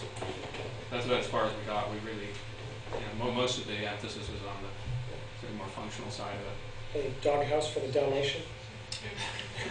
That's in the back of the Well- Um, Okay. there actually is a funny little thing on the uh, side of the existing station that a little doghouse kind of structure that's where the I think it's where the boiler is. Um, so on to the police station. Um, I'm going to let them kind of talk about what's going on internally and just kind of talk about how, how we're getting you in and out of the building. Um, I think, as everyone knows, um, this whole area in the back here is just one big sea of pavement with no um, pedestrian corridor um, and just a lot, a lot of parking. What we've done here is having the expansion of the police department coming here, so and organizing the parking and providing some type of pedestrian walkway that goes all the way around the buildings. So the public would come in here, or victims would come in here. Um, the police would come down here and come into the Sally Port that's here, that has the cells right adjacent to it, that are all now on the same level. Um, so that allows them to come in, book people, put them, put them away, put them in the cells, tuck them in, um, and and it all being done safely on the same level without having to get into stairs or or, or particularly get into um, an elevator. Um, Better customer service. Better customer service, right, not banging them downstairs, unfortunately. Um, So there's some parking in the back here that would be dedicated simply to, to cruisers, um, and they would be kind of isolated for, for the police department. Um, As you know, there's the very large parking here. We are eliminating some parking, obviously, associated with the expansion, um, and some of the parking here is currently being used by the state um, building, and would, they would either need to go and park in their own, or the municipal High Grove lot would be available over here. Um, so we're basically trying to, to provide a separate entrance for the police station, clean up this area in the back, provide the nice entrance to the, to the town hall, as well as a pedestrian corridor here, and then having this kind of area be more associated with just the police cruisers and the police kind of coming back in here for the Sally Port and parking.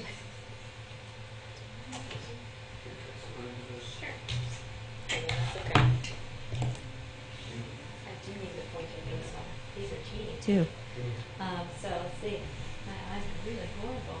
Looks like So- something out of Florence, Italy from 1600. It's funky looking, huh? So I'm going to start with the first floor plan, which is here, um, because of where we enter. Um, just spinning off of what Kathy was talking about. So here is um, the, the lighter color here is like we've done in all of the plans. The lighter color is, is the uh, addition, proposed additions, and the darker here would be renovation. Um, and the purple in this one is um, planning fit up, basically. Um, you know, if the planning department was to move down, it's basically kind of um, not changing uh, too many partitions per se, but kind of fitting it up so they can use it as their workspace after the police had moved out. But on this first level here, um, this lower level in the light colored is actually on grade, which would be down at parking lot level, and you'd enter right here into the lobby with a dispatch area. I won't go into all the little spaces, but um, instead of having you come up the steps, you know, right away as you enter, you're on this level for dispatch, and as Kathy was saying, back here is that Sally Port with the cells immediately adjacent. So all of that is on grade, and your level change happens right here as you move up into the, the renovated area here is, is more of the uh, police functions such as patrol and training rooms and roll call. Um, and, and that would be on the first level. Um, on the second level, uh, as you go up the, when you get to the second level, basically the floors are even, so there's no difference in the floor elevations. Um, and up in this area are more of the police functions, the, the chief's offices and such, um, detective areas. And in the basement here, there's um, still that level change going on, um, but we have uh, um, locker rooms and um, uh, storage, long-term evidence storage, um, since the, you know, there's not much of it back in there now, and then some meter spaces and some other spaces. So the level changes kind of happen on two levels, and then the second floor is all on the same level. Yes. Uh, When you enter the police station, uh, our customer service is going to eliminate us dealing with dispatch. Is that the plan? So if someone comes in, they're not going to have to go and talk to dispatch. Dispatch will be taken out of the, the, the customer service aspect. When somebody comes in, actually, the first per- people they usually talk to is someone in dispatch. They go to the window. Uh, Are we, we're looking to eliminate that here. No, that's going to remain exactly the same for right now. The only, the only way to eliminate that would be to hire, you'd have to hire people for that because it's open twenty-four seven, um, is one of the issues. So you, you know, it, you can't have, uh, like some of the administrative staff do it. The other issue with the administrative staff is that the paperwork they're dealing with is always more privacy issues that you, you're not gonna, you're gonna be careful with. That was one of the desires I had, was to get dispatch out of, as, um, the custom, you know, the reception. Which should, Um, should be, I think that that's a laudable goal here, that the biggest issue I see in its present form is the lack of privacy. So when I walk in the back of the municipal building, I see someone sitting in the hall waiting for the police department. Now, there's quite a few people I know, and, and always the first thing that comes into my head is, why are they here? Uh, the issue that if we're going to fix something and offer better customer service, my feeling is, is that I- although we, we wouldn't hire someone around the clock, certainly I think having someone at a desk as somewhat of a receptionist, where we had several years ago, During the day. in the main hallway is something that merits some conversation in terms of someone comes in and needs services. Not everybody who comes into the police station is a criminal, correct? Right, They- many they are, need to many are come in- victims, some just need information. That's right. And so having someone at a desk where they're going to be able to meet the public during the hours that we're open seems to me like something that I might be able to get behind with some discussion. Rather than have people come in and do what they do now, is go to dispatch. When dispatch is, I mean, for all practical purposes, they've got another job to do other than customer service, which I don't think is their responsibility, but they're forced to just because of the way that we're set up right now. David? I think that the privacy issues that you're concerned about are alleviated in part because, as I understand it, there's, would now be a separate entrance solely for police. I, I do And then understand the that. entrance into the municipal center is going to be separate. So I, I don't, I, I think it's a separate discussion as to whether we need to have a separate receptionist. I think those privacy issues are dealt with by a, a completely different entrance being. We have tried to deal with some of it too by having a conference room right off so that as soon as somebody comes in, dispatch can send them to a conference room. Um, so that, so that they're not, you know, if someone's, um, upset or, you know, until a police officer can get out there, that they can, that they're not just sitting in the lobby. There's also this little, we call it the interview room here, with the idea being that if someone came like a victim of, you know, domestic abuse or something like that, and needed to get out of the lobby, that they can be led into that room while dispatch gets the right, or whoever's receiving them gets the right police officer to Right. I, I, I I think that thi- this isn't for you to decide this issue.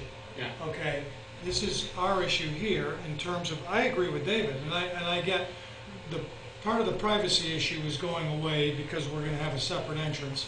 But I still think the customer service aspect of what we're trying to provide should eliminate us dealing with dispatch during normal working hours. And I think that that merits some discussion. Wh- What are normal working hours for a police department? We're a 24-hour... I, I get that, chief, I understand that, I understand that. I- There's always people coming in the door. I mean, when I come and pick up my book, if I don't get it during normal working hours, I may get here at seven o'clock. I wouldn't expect some, we wouldn't be manning a desk. Not too many municipalities do that, that I know of. But there are municipalities that have someone when someone's coming in. Now, they just wouldn't sit there, they could be one of our existing uh, secretaries that we have down there, and they're, they're just out there. If someone comes in, we get them to the right person, rather than disrupt dispatch. That's the conversation I'm looking to have here. I, I, I mean, I, I think what Dick is talking about is something to think about, and, and I think sort of in the plans, um, maybe there could be some sort of accommodation for some kind of desk or something there, and I don't even think you have to change things structurally to have that. Um, and, but the, you know, that, that's a, that's a larger discussion as far as staffing Right. issues and things like that, but, y- you know, I, I, I think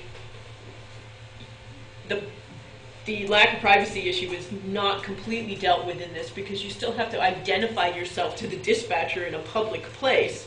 As to what it is that, you know, that, that, that you need, and you've got a dispatcher on a radio, and, you know, I mean, I just think it's, you know, dealing with that stuff, it, it does make sense, at least during the major daytime hours in which there would be the most people walking into that building, that it makes sense to have that. And, and it is a customer service issue, and it's more than just the privacy thing.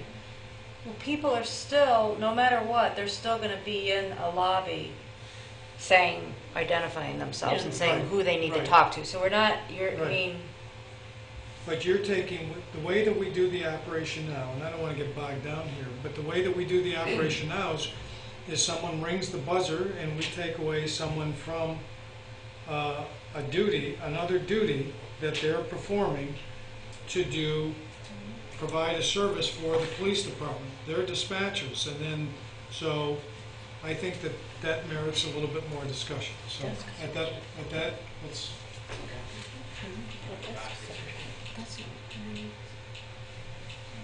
Um, So, to the building form and the outside of it, um, here's a photograph of the station that we know, um, pointing out all, obviously the shared entrance that, that's one of the biggest problems and the lack of identity for the police department and, and the lack of a sally port. And here's our model of what it could look like. Um, you laughing at the car or? No, it looks like a bunch of pieces just being attached one to the next. Well, there's, it's a complicated building to add Yeah. on to, mainly because of the lack of space. But, um, lack of, there's not, there's very little space actually on the site where you can, where there's not some, some major piece of infrastructure or something that, that's being installed or has been installed. Um, but at any rate, with, with this new one, what we're trying to do is, uh, create an addition that gives the police department a, a, a civic presence of its own that's um, not that's in that's separate from the, the town offices, um, and that and also just as we've already talked about the, the, the, the two entrances, um, we're also by placing it on the back of the building, um, trying to minimize its impact on the historic building, and I think if we flip ahead, you know, looking from from from down here, you can see that it, it really wouldn't even be visible because of the height of it and the fact that it's back from the from the hill quite a ways. But the other thing we uh, are seriously trying to address on this is to, to create a building that um, is welcoming and approachable, so that uh, people who there there are a lot of people I, I, I, who, who need police services who are people who might be intimidated about going to the police station, and so we're we're, we're trying to make a building that both addresses the safety and security concerns, but also feels like something that people wouldn't be intimidated about going to, and I think that's an important function for, uh, for the design of a police station. Yes? Go. I, I have real concerns about the design um, and um, uh, of the addition. I understand the functionality piece, um, and I understand it's very function. Uh, think you need to create some sort of decorative feature that goes along with this kind of roof that and upper story that that build that that the the main historical building The mansard it, it, it needs to have something that, you know, matches it up, because otherwise it just looks like, you know, it just looks like a school building attached to, you know, I mean, it just, it, it, it doesn't really have any connection. Um, and, um, you know, and, but I also think that, you know, some of the things I don't necessarily like about it, um, could be dealt with by creating a more public art-oriented building. Um, and that would make it really welcoming. Um, but, um, which we could get the arts committee involved in. Um, but, um, but I, I, you know, I do think the roof line issue, I, I understand the whole thing about not affecting the historic nature of, of the building, but, you know, something kind of needs to be done to, it, it just, that's a, you know, it's a beautiful building and it's a great historical building, and I, I think we could think about that more.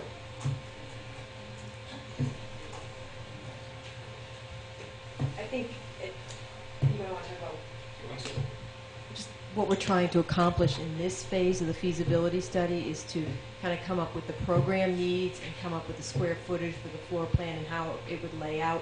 This thing, you know, with regard to changing, you know, the architecture and what the building's ultimately going to look like is something that would definitely be much more evolved as you move into the design process. But, but I do want to say that if what you're talking about is getting public feedback on it, these are the kinds of things that come up when stuff like this is, is brought about. Um, and um, while public comments on, you know, private projects and DRB meetings um, don't really have much effect, they do have an effect when they're talking about public projects. And I think there's an expectation, particularly given the fact that we're Brattleboro, the arts town, and we have all these historical buildings, that, you know, so, so if there could be some sort of rendition, maybe not a final plan, that gives a more, a, a, a, a greater as- aest- sense of aesthetics on that, that, you know, from a public perspective, that's, you know, that, that that's going to be received much better. I'll, I'll just follow up and say this rendering is very jarring. The next photograph looks way better. That's right. And, and I think, uh, uh, from this perspective, it, it makes me recoil a lot less than the previous photos, so you might consider Recoil that. less, that's what we were hoping for. That's it. I don't recoil at this one. The previous one looks just very strange, but it's very early phase. Maybe carrying that theme out around the front of the building, The circle? the circle, Something. rather than, Oh, rather than a flat wall? that- rather than a flat wall. With, with the existing window structure carrying around to the, the front of the building. I, I mean, Dora makes a somewhat of a valid point, but again, this is gonna be like a, uh, a new car, and every time you change one of the options, the price of poker goes up. Now, not to say that the, the roof issue and that roof line, uh, shouldn't be, shouldn't be looked at closer, but it's, it's like anything else that we've all talked about here. What, what is it gonna add, add to the bottom line? Uh, But I would agree with David, this, I, I, I like this, this photo here, and the like, the look of this, and if that was carried out more towards, around the front of the building, it might be much more palatable than that. Well, it, the design is, know, is, is at a very preliminary stage, but what it really is, is it's extruding from a site plan concept of what fits on the site, Right. essentially, and that's why the, the wall is kind of angled, and just some of the elements, it's, it's a masonry building. It's got windows that are similarly proportioned to the windows that are on the old building. It doesn't have a mansard roof on it, but a mansard roof is a pretty tough thing to do properly. Um, you know, it's a kind of a, histor- a level of historical detail that you need, you need to carry through for it to be convincing. And it's hard to do on a, on an asymmetrical, you know, you've only got an addition on one side, you have one on each side, and then you kind of reproduce that mansard symmetry. Then it sort of works, but anyway. Um, it's also designed with passive solar and active solar design in mind. It's, it's got a lot, a lot of glass on the south facing side of it solar panels. And there you see the at grade Sally port. And those windows are into the holding cell area. And it's dispatch.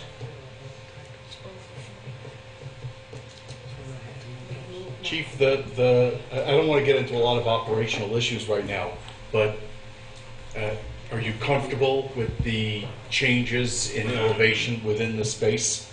uh, Still making for smooth operations within the uh, proposed new, s- new structure? Right, because the, the Sally port and the cell blocks are all on one level, uh, along with dispatch, and then there's just a minor level change up to the patrol, uh, training and, and roll call. Yeah, those are simple. So that has to be handicap accessible also, correct? A small, there's just lift in there. I mean, we reduce it to a point where it's just a lift. Right. That's on the wrong level, sir. It's right there. Oh, It's about, it's about a four foot change in level between the existing first floor and the first floor inside. So a lift is like an elevator without sides, is that it? Yeah, it's just for a wheelchair, Yeah. and, and, um, and we think you can, that it'll be allowed in a structure Mhm. in this kind of scenario. Mhm. The other thing that happens, um, the stair that's there right now will likely have to be rebuilt because it, it violates a lot of building code things. And so one of the concerns, or one of the ideas is that you could, if you needed the elevator, you could use the, there, there's a corridor here that connects this level and the lower level of the existing entry so that that elevator could be used if it needed to be. Um, I was reading a statistic today about Vermont's over 65 population. We've got the highest uh, proportions of people over 65 in the United States and the second fastest growing uh, population of over 65 in Vermont. And the fastest part of Vermont, fastest growing over 65 population in Vermont is here in the southeast corner. And so I'm seeing that you have made room for ADA uh, needs. Um, But, you know, that, that 15% is only going to go up. Uh, It's just the way the demographics are working. So um, is this plan made so that routinely someone with trouble being ambulatory can access this building? As best we can do it, yeah. One of the, one of the things that we were trying to avoid was putting a, a separate elevator in the addition, because it would be about as expensive an elevator as you it would be required to be by the state, because it would, it would have four stops, doors on two sides, and it would have to be big enough to carry stretchers, so it would, I think, hundred and twenty thousand or something? Hundred and twenty-six thousand. So, 126,000? dollars for the elevator, if we had to put a, a dedicated elevator in addition, Yeah. So we, we tried to use a, a, a light-duty chairlift right here, Uh-huh. and when the elevator needs to be used, we've made provisions so that the one that's there could be used. It's just that the population on Main Street is going to be changing. Yeah. I mean, It's going to be preponderantly.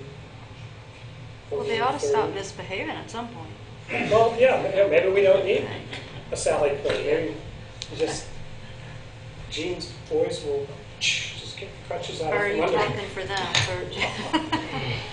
Okay. It's just, it's dollars and cents partly, and we, at some point, we have to, we, we were charged with trying to keep the budget as. Yeah, yeah. But I'm, I'm just pointing out something that we're all having to look down the road into. This is face very real. and Let's it's- now, it's all- right here. It is. Okay, Okay, let's get on the price. Yeah. So there's, Christopher? Oh, man. Could we have something stronger than water, please? And does this entail soft cost? Yes. Yeah. Yes. this is everything. This is everything. it's renovation, additions, um, site work, and soft costs. Oh, look at who gets up. Acquisition. Um, There's a, there's a piece in there for purchasing the, the laundry, uh, for fire station one. Um, What are soft costs, please? Well, there- there's a, there are a whole range of things ranging from the cost of getting building permits Oh. to paying consultants who need to be paid. Um, and a variety, there's a variety of things like that that aren't directly, um, construction costs or materials or labor. You were at, in 2001, the bond was for 12 million, and it didn't include what you were going to do with the existing buildings after, after you left them. It didn't include the acquisition cost And it either. didn't include the acquisition cost in 2001 of 12 million. As a footnote too, um, when we discussed this matter before, I, I just converted the 2001 price using an inflation calculator. But I've actually gone and looked into um, construction value, and um, there's a company called Means that does indexes of construction costs in different parts of the country. It doesn't give Brattleboro, but it does give Rutland. And the difference in cost between 2001 and 2012 in Rutland is a, it's a factor of almost 1.6. So that, that eight, it was eight, just, just under $9 million last time. And if you use that, it comes out to just under 14 million this time to do, just, just to translate the building cost of what they proposed before. Here in Rutland. Here in Rut, well, it's Rutland, but I assume that Rutland is fairly close. The other town that was nearby was Keene, not Keene, uh, Nashua. But Nashua was actually quite a bit more Bigger. expensive than Rutland, so. um, So- So with the acquisition cost of the land, it's actually pretty much the same Yeah. value of project, but it's quite a different project. Part Instead of- of being one building, it's three. Mhm. And then part of the, part of the lesson is, at some point you have to do it because it doesn't get cheaper. Um, you know, I mean, I think we're at a point. And just to, John did some just rough estimates for at a four percent twenty-year bond, um, you're at, uh, a tax, the tax increase is, um, about nine and a half cents. So for a um, $150,000 home, that would be an increase of $143 a year. For a $200,000 assessed home, it would be 100 at $191 a year. And for a $250,000 home, it would be about 240 $239. And those are estimates, just, but it's to give people a sense of, of what we're talking about here. This is, this, that's per year on taxes, is that what you're saying? Yes, yes. That's, well, I mean, that's what, right. But this is If putting you're- the entire burden on, on the homeowners by uh, uh, uh, increasing property taxes, and there's been discussion about other potential ways to try to raise some of the money. Correct, that's with looking at the whole, whole option being on the, as just a bond, a simple bond, and paying it for it with by a 20-year note. Um, 20 years? Not 30? 20-year bond. Not 30. No, we wouldn't, you can't do a 30. Um, You probably wouldn't want to do a 30 on. High school's at 30, isn't it? Yeah, they, well, they Why- why could not do 20? 30. They could do 30. Schools can't. Schools, ca- I don't think, we can't do 30, right, John? No. Right, we can only do 20, and this is, Schools can do 30, but municipalities can only do 20-year bonds? For non-utility related um, work, it's 20 years is the max. Okay, so our, our water treatment facility is 30-year? 30. No. Uh-uh, Okay, I don't think so, is it? I can go check. I thought state revolving loans were all 20, with the exception of Tri-Park, who has one that's 30. I don't think so. Go check. I can go check. Well, uh, our, The value engineering of those cuts you've made to an original? Yeah. Yeah, exactly. um, are you also? Yeah, that's our presentation. Okay. Thank you very much. That Thank was you. very informative. Thank you. This is great, yeah. Thanks for taking such I just, complex I just have one thing, because I am a little frustrated by not having a, some sort of printed document to We can follow print this out for you. Um, That would have been nice to have ahead of Uh, time. I actually would, uh, I would like to see a little bit more detail in terms of uh, some of the costs, uh, in terms of uh, especially the uh, uh, renovation at Central Fire Station. I want to see what those estimated costs are. I think that that's, uh, I know you're going to look at, give us another option there. Uh, But that, uh, you know, if you're talking two, a couple of million dollars in renovation costs, which I I su- suspect you are, It's, it's real money, yeah. yeah, it's real money. Uh, I think we really have to have a conversation about saying, you know, it's a better investment to do a total new uh, facility if it costs us a- uh, a million dollars more. I mean, I, I think, you know, and I, I suspect there's going to be a little bit more conversation about that number in West Brattleboro at $2.1 million. Uh, That's, uh, that's serious money for, you know, for me, Plan, Plan A and Plan B are Central and the Police Department. Uh, That, that figure at West Brattleboro scares me a little bit. Uh, I mean, it- we can justify anything we want. Every time I want a new golf club, even though I don't really need it, I can justify it. So uh, the justification part uh, is the easy piece of this conversation. So uh, that $2 million figure, I'm sure scares a couple of people on the board.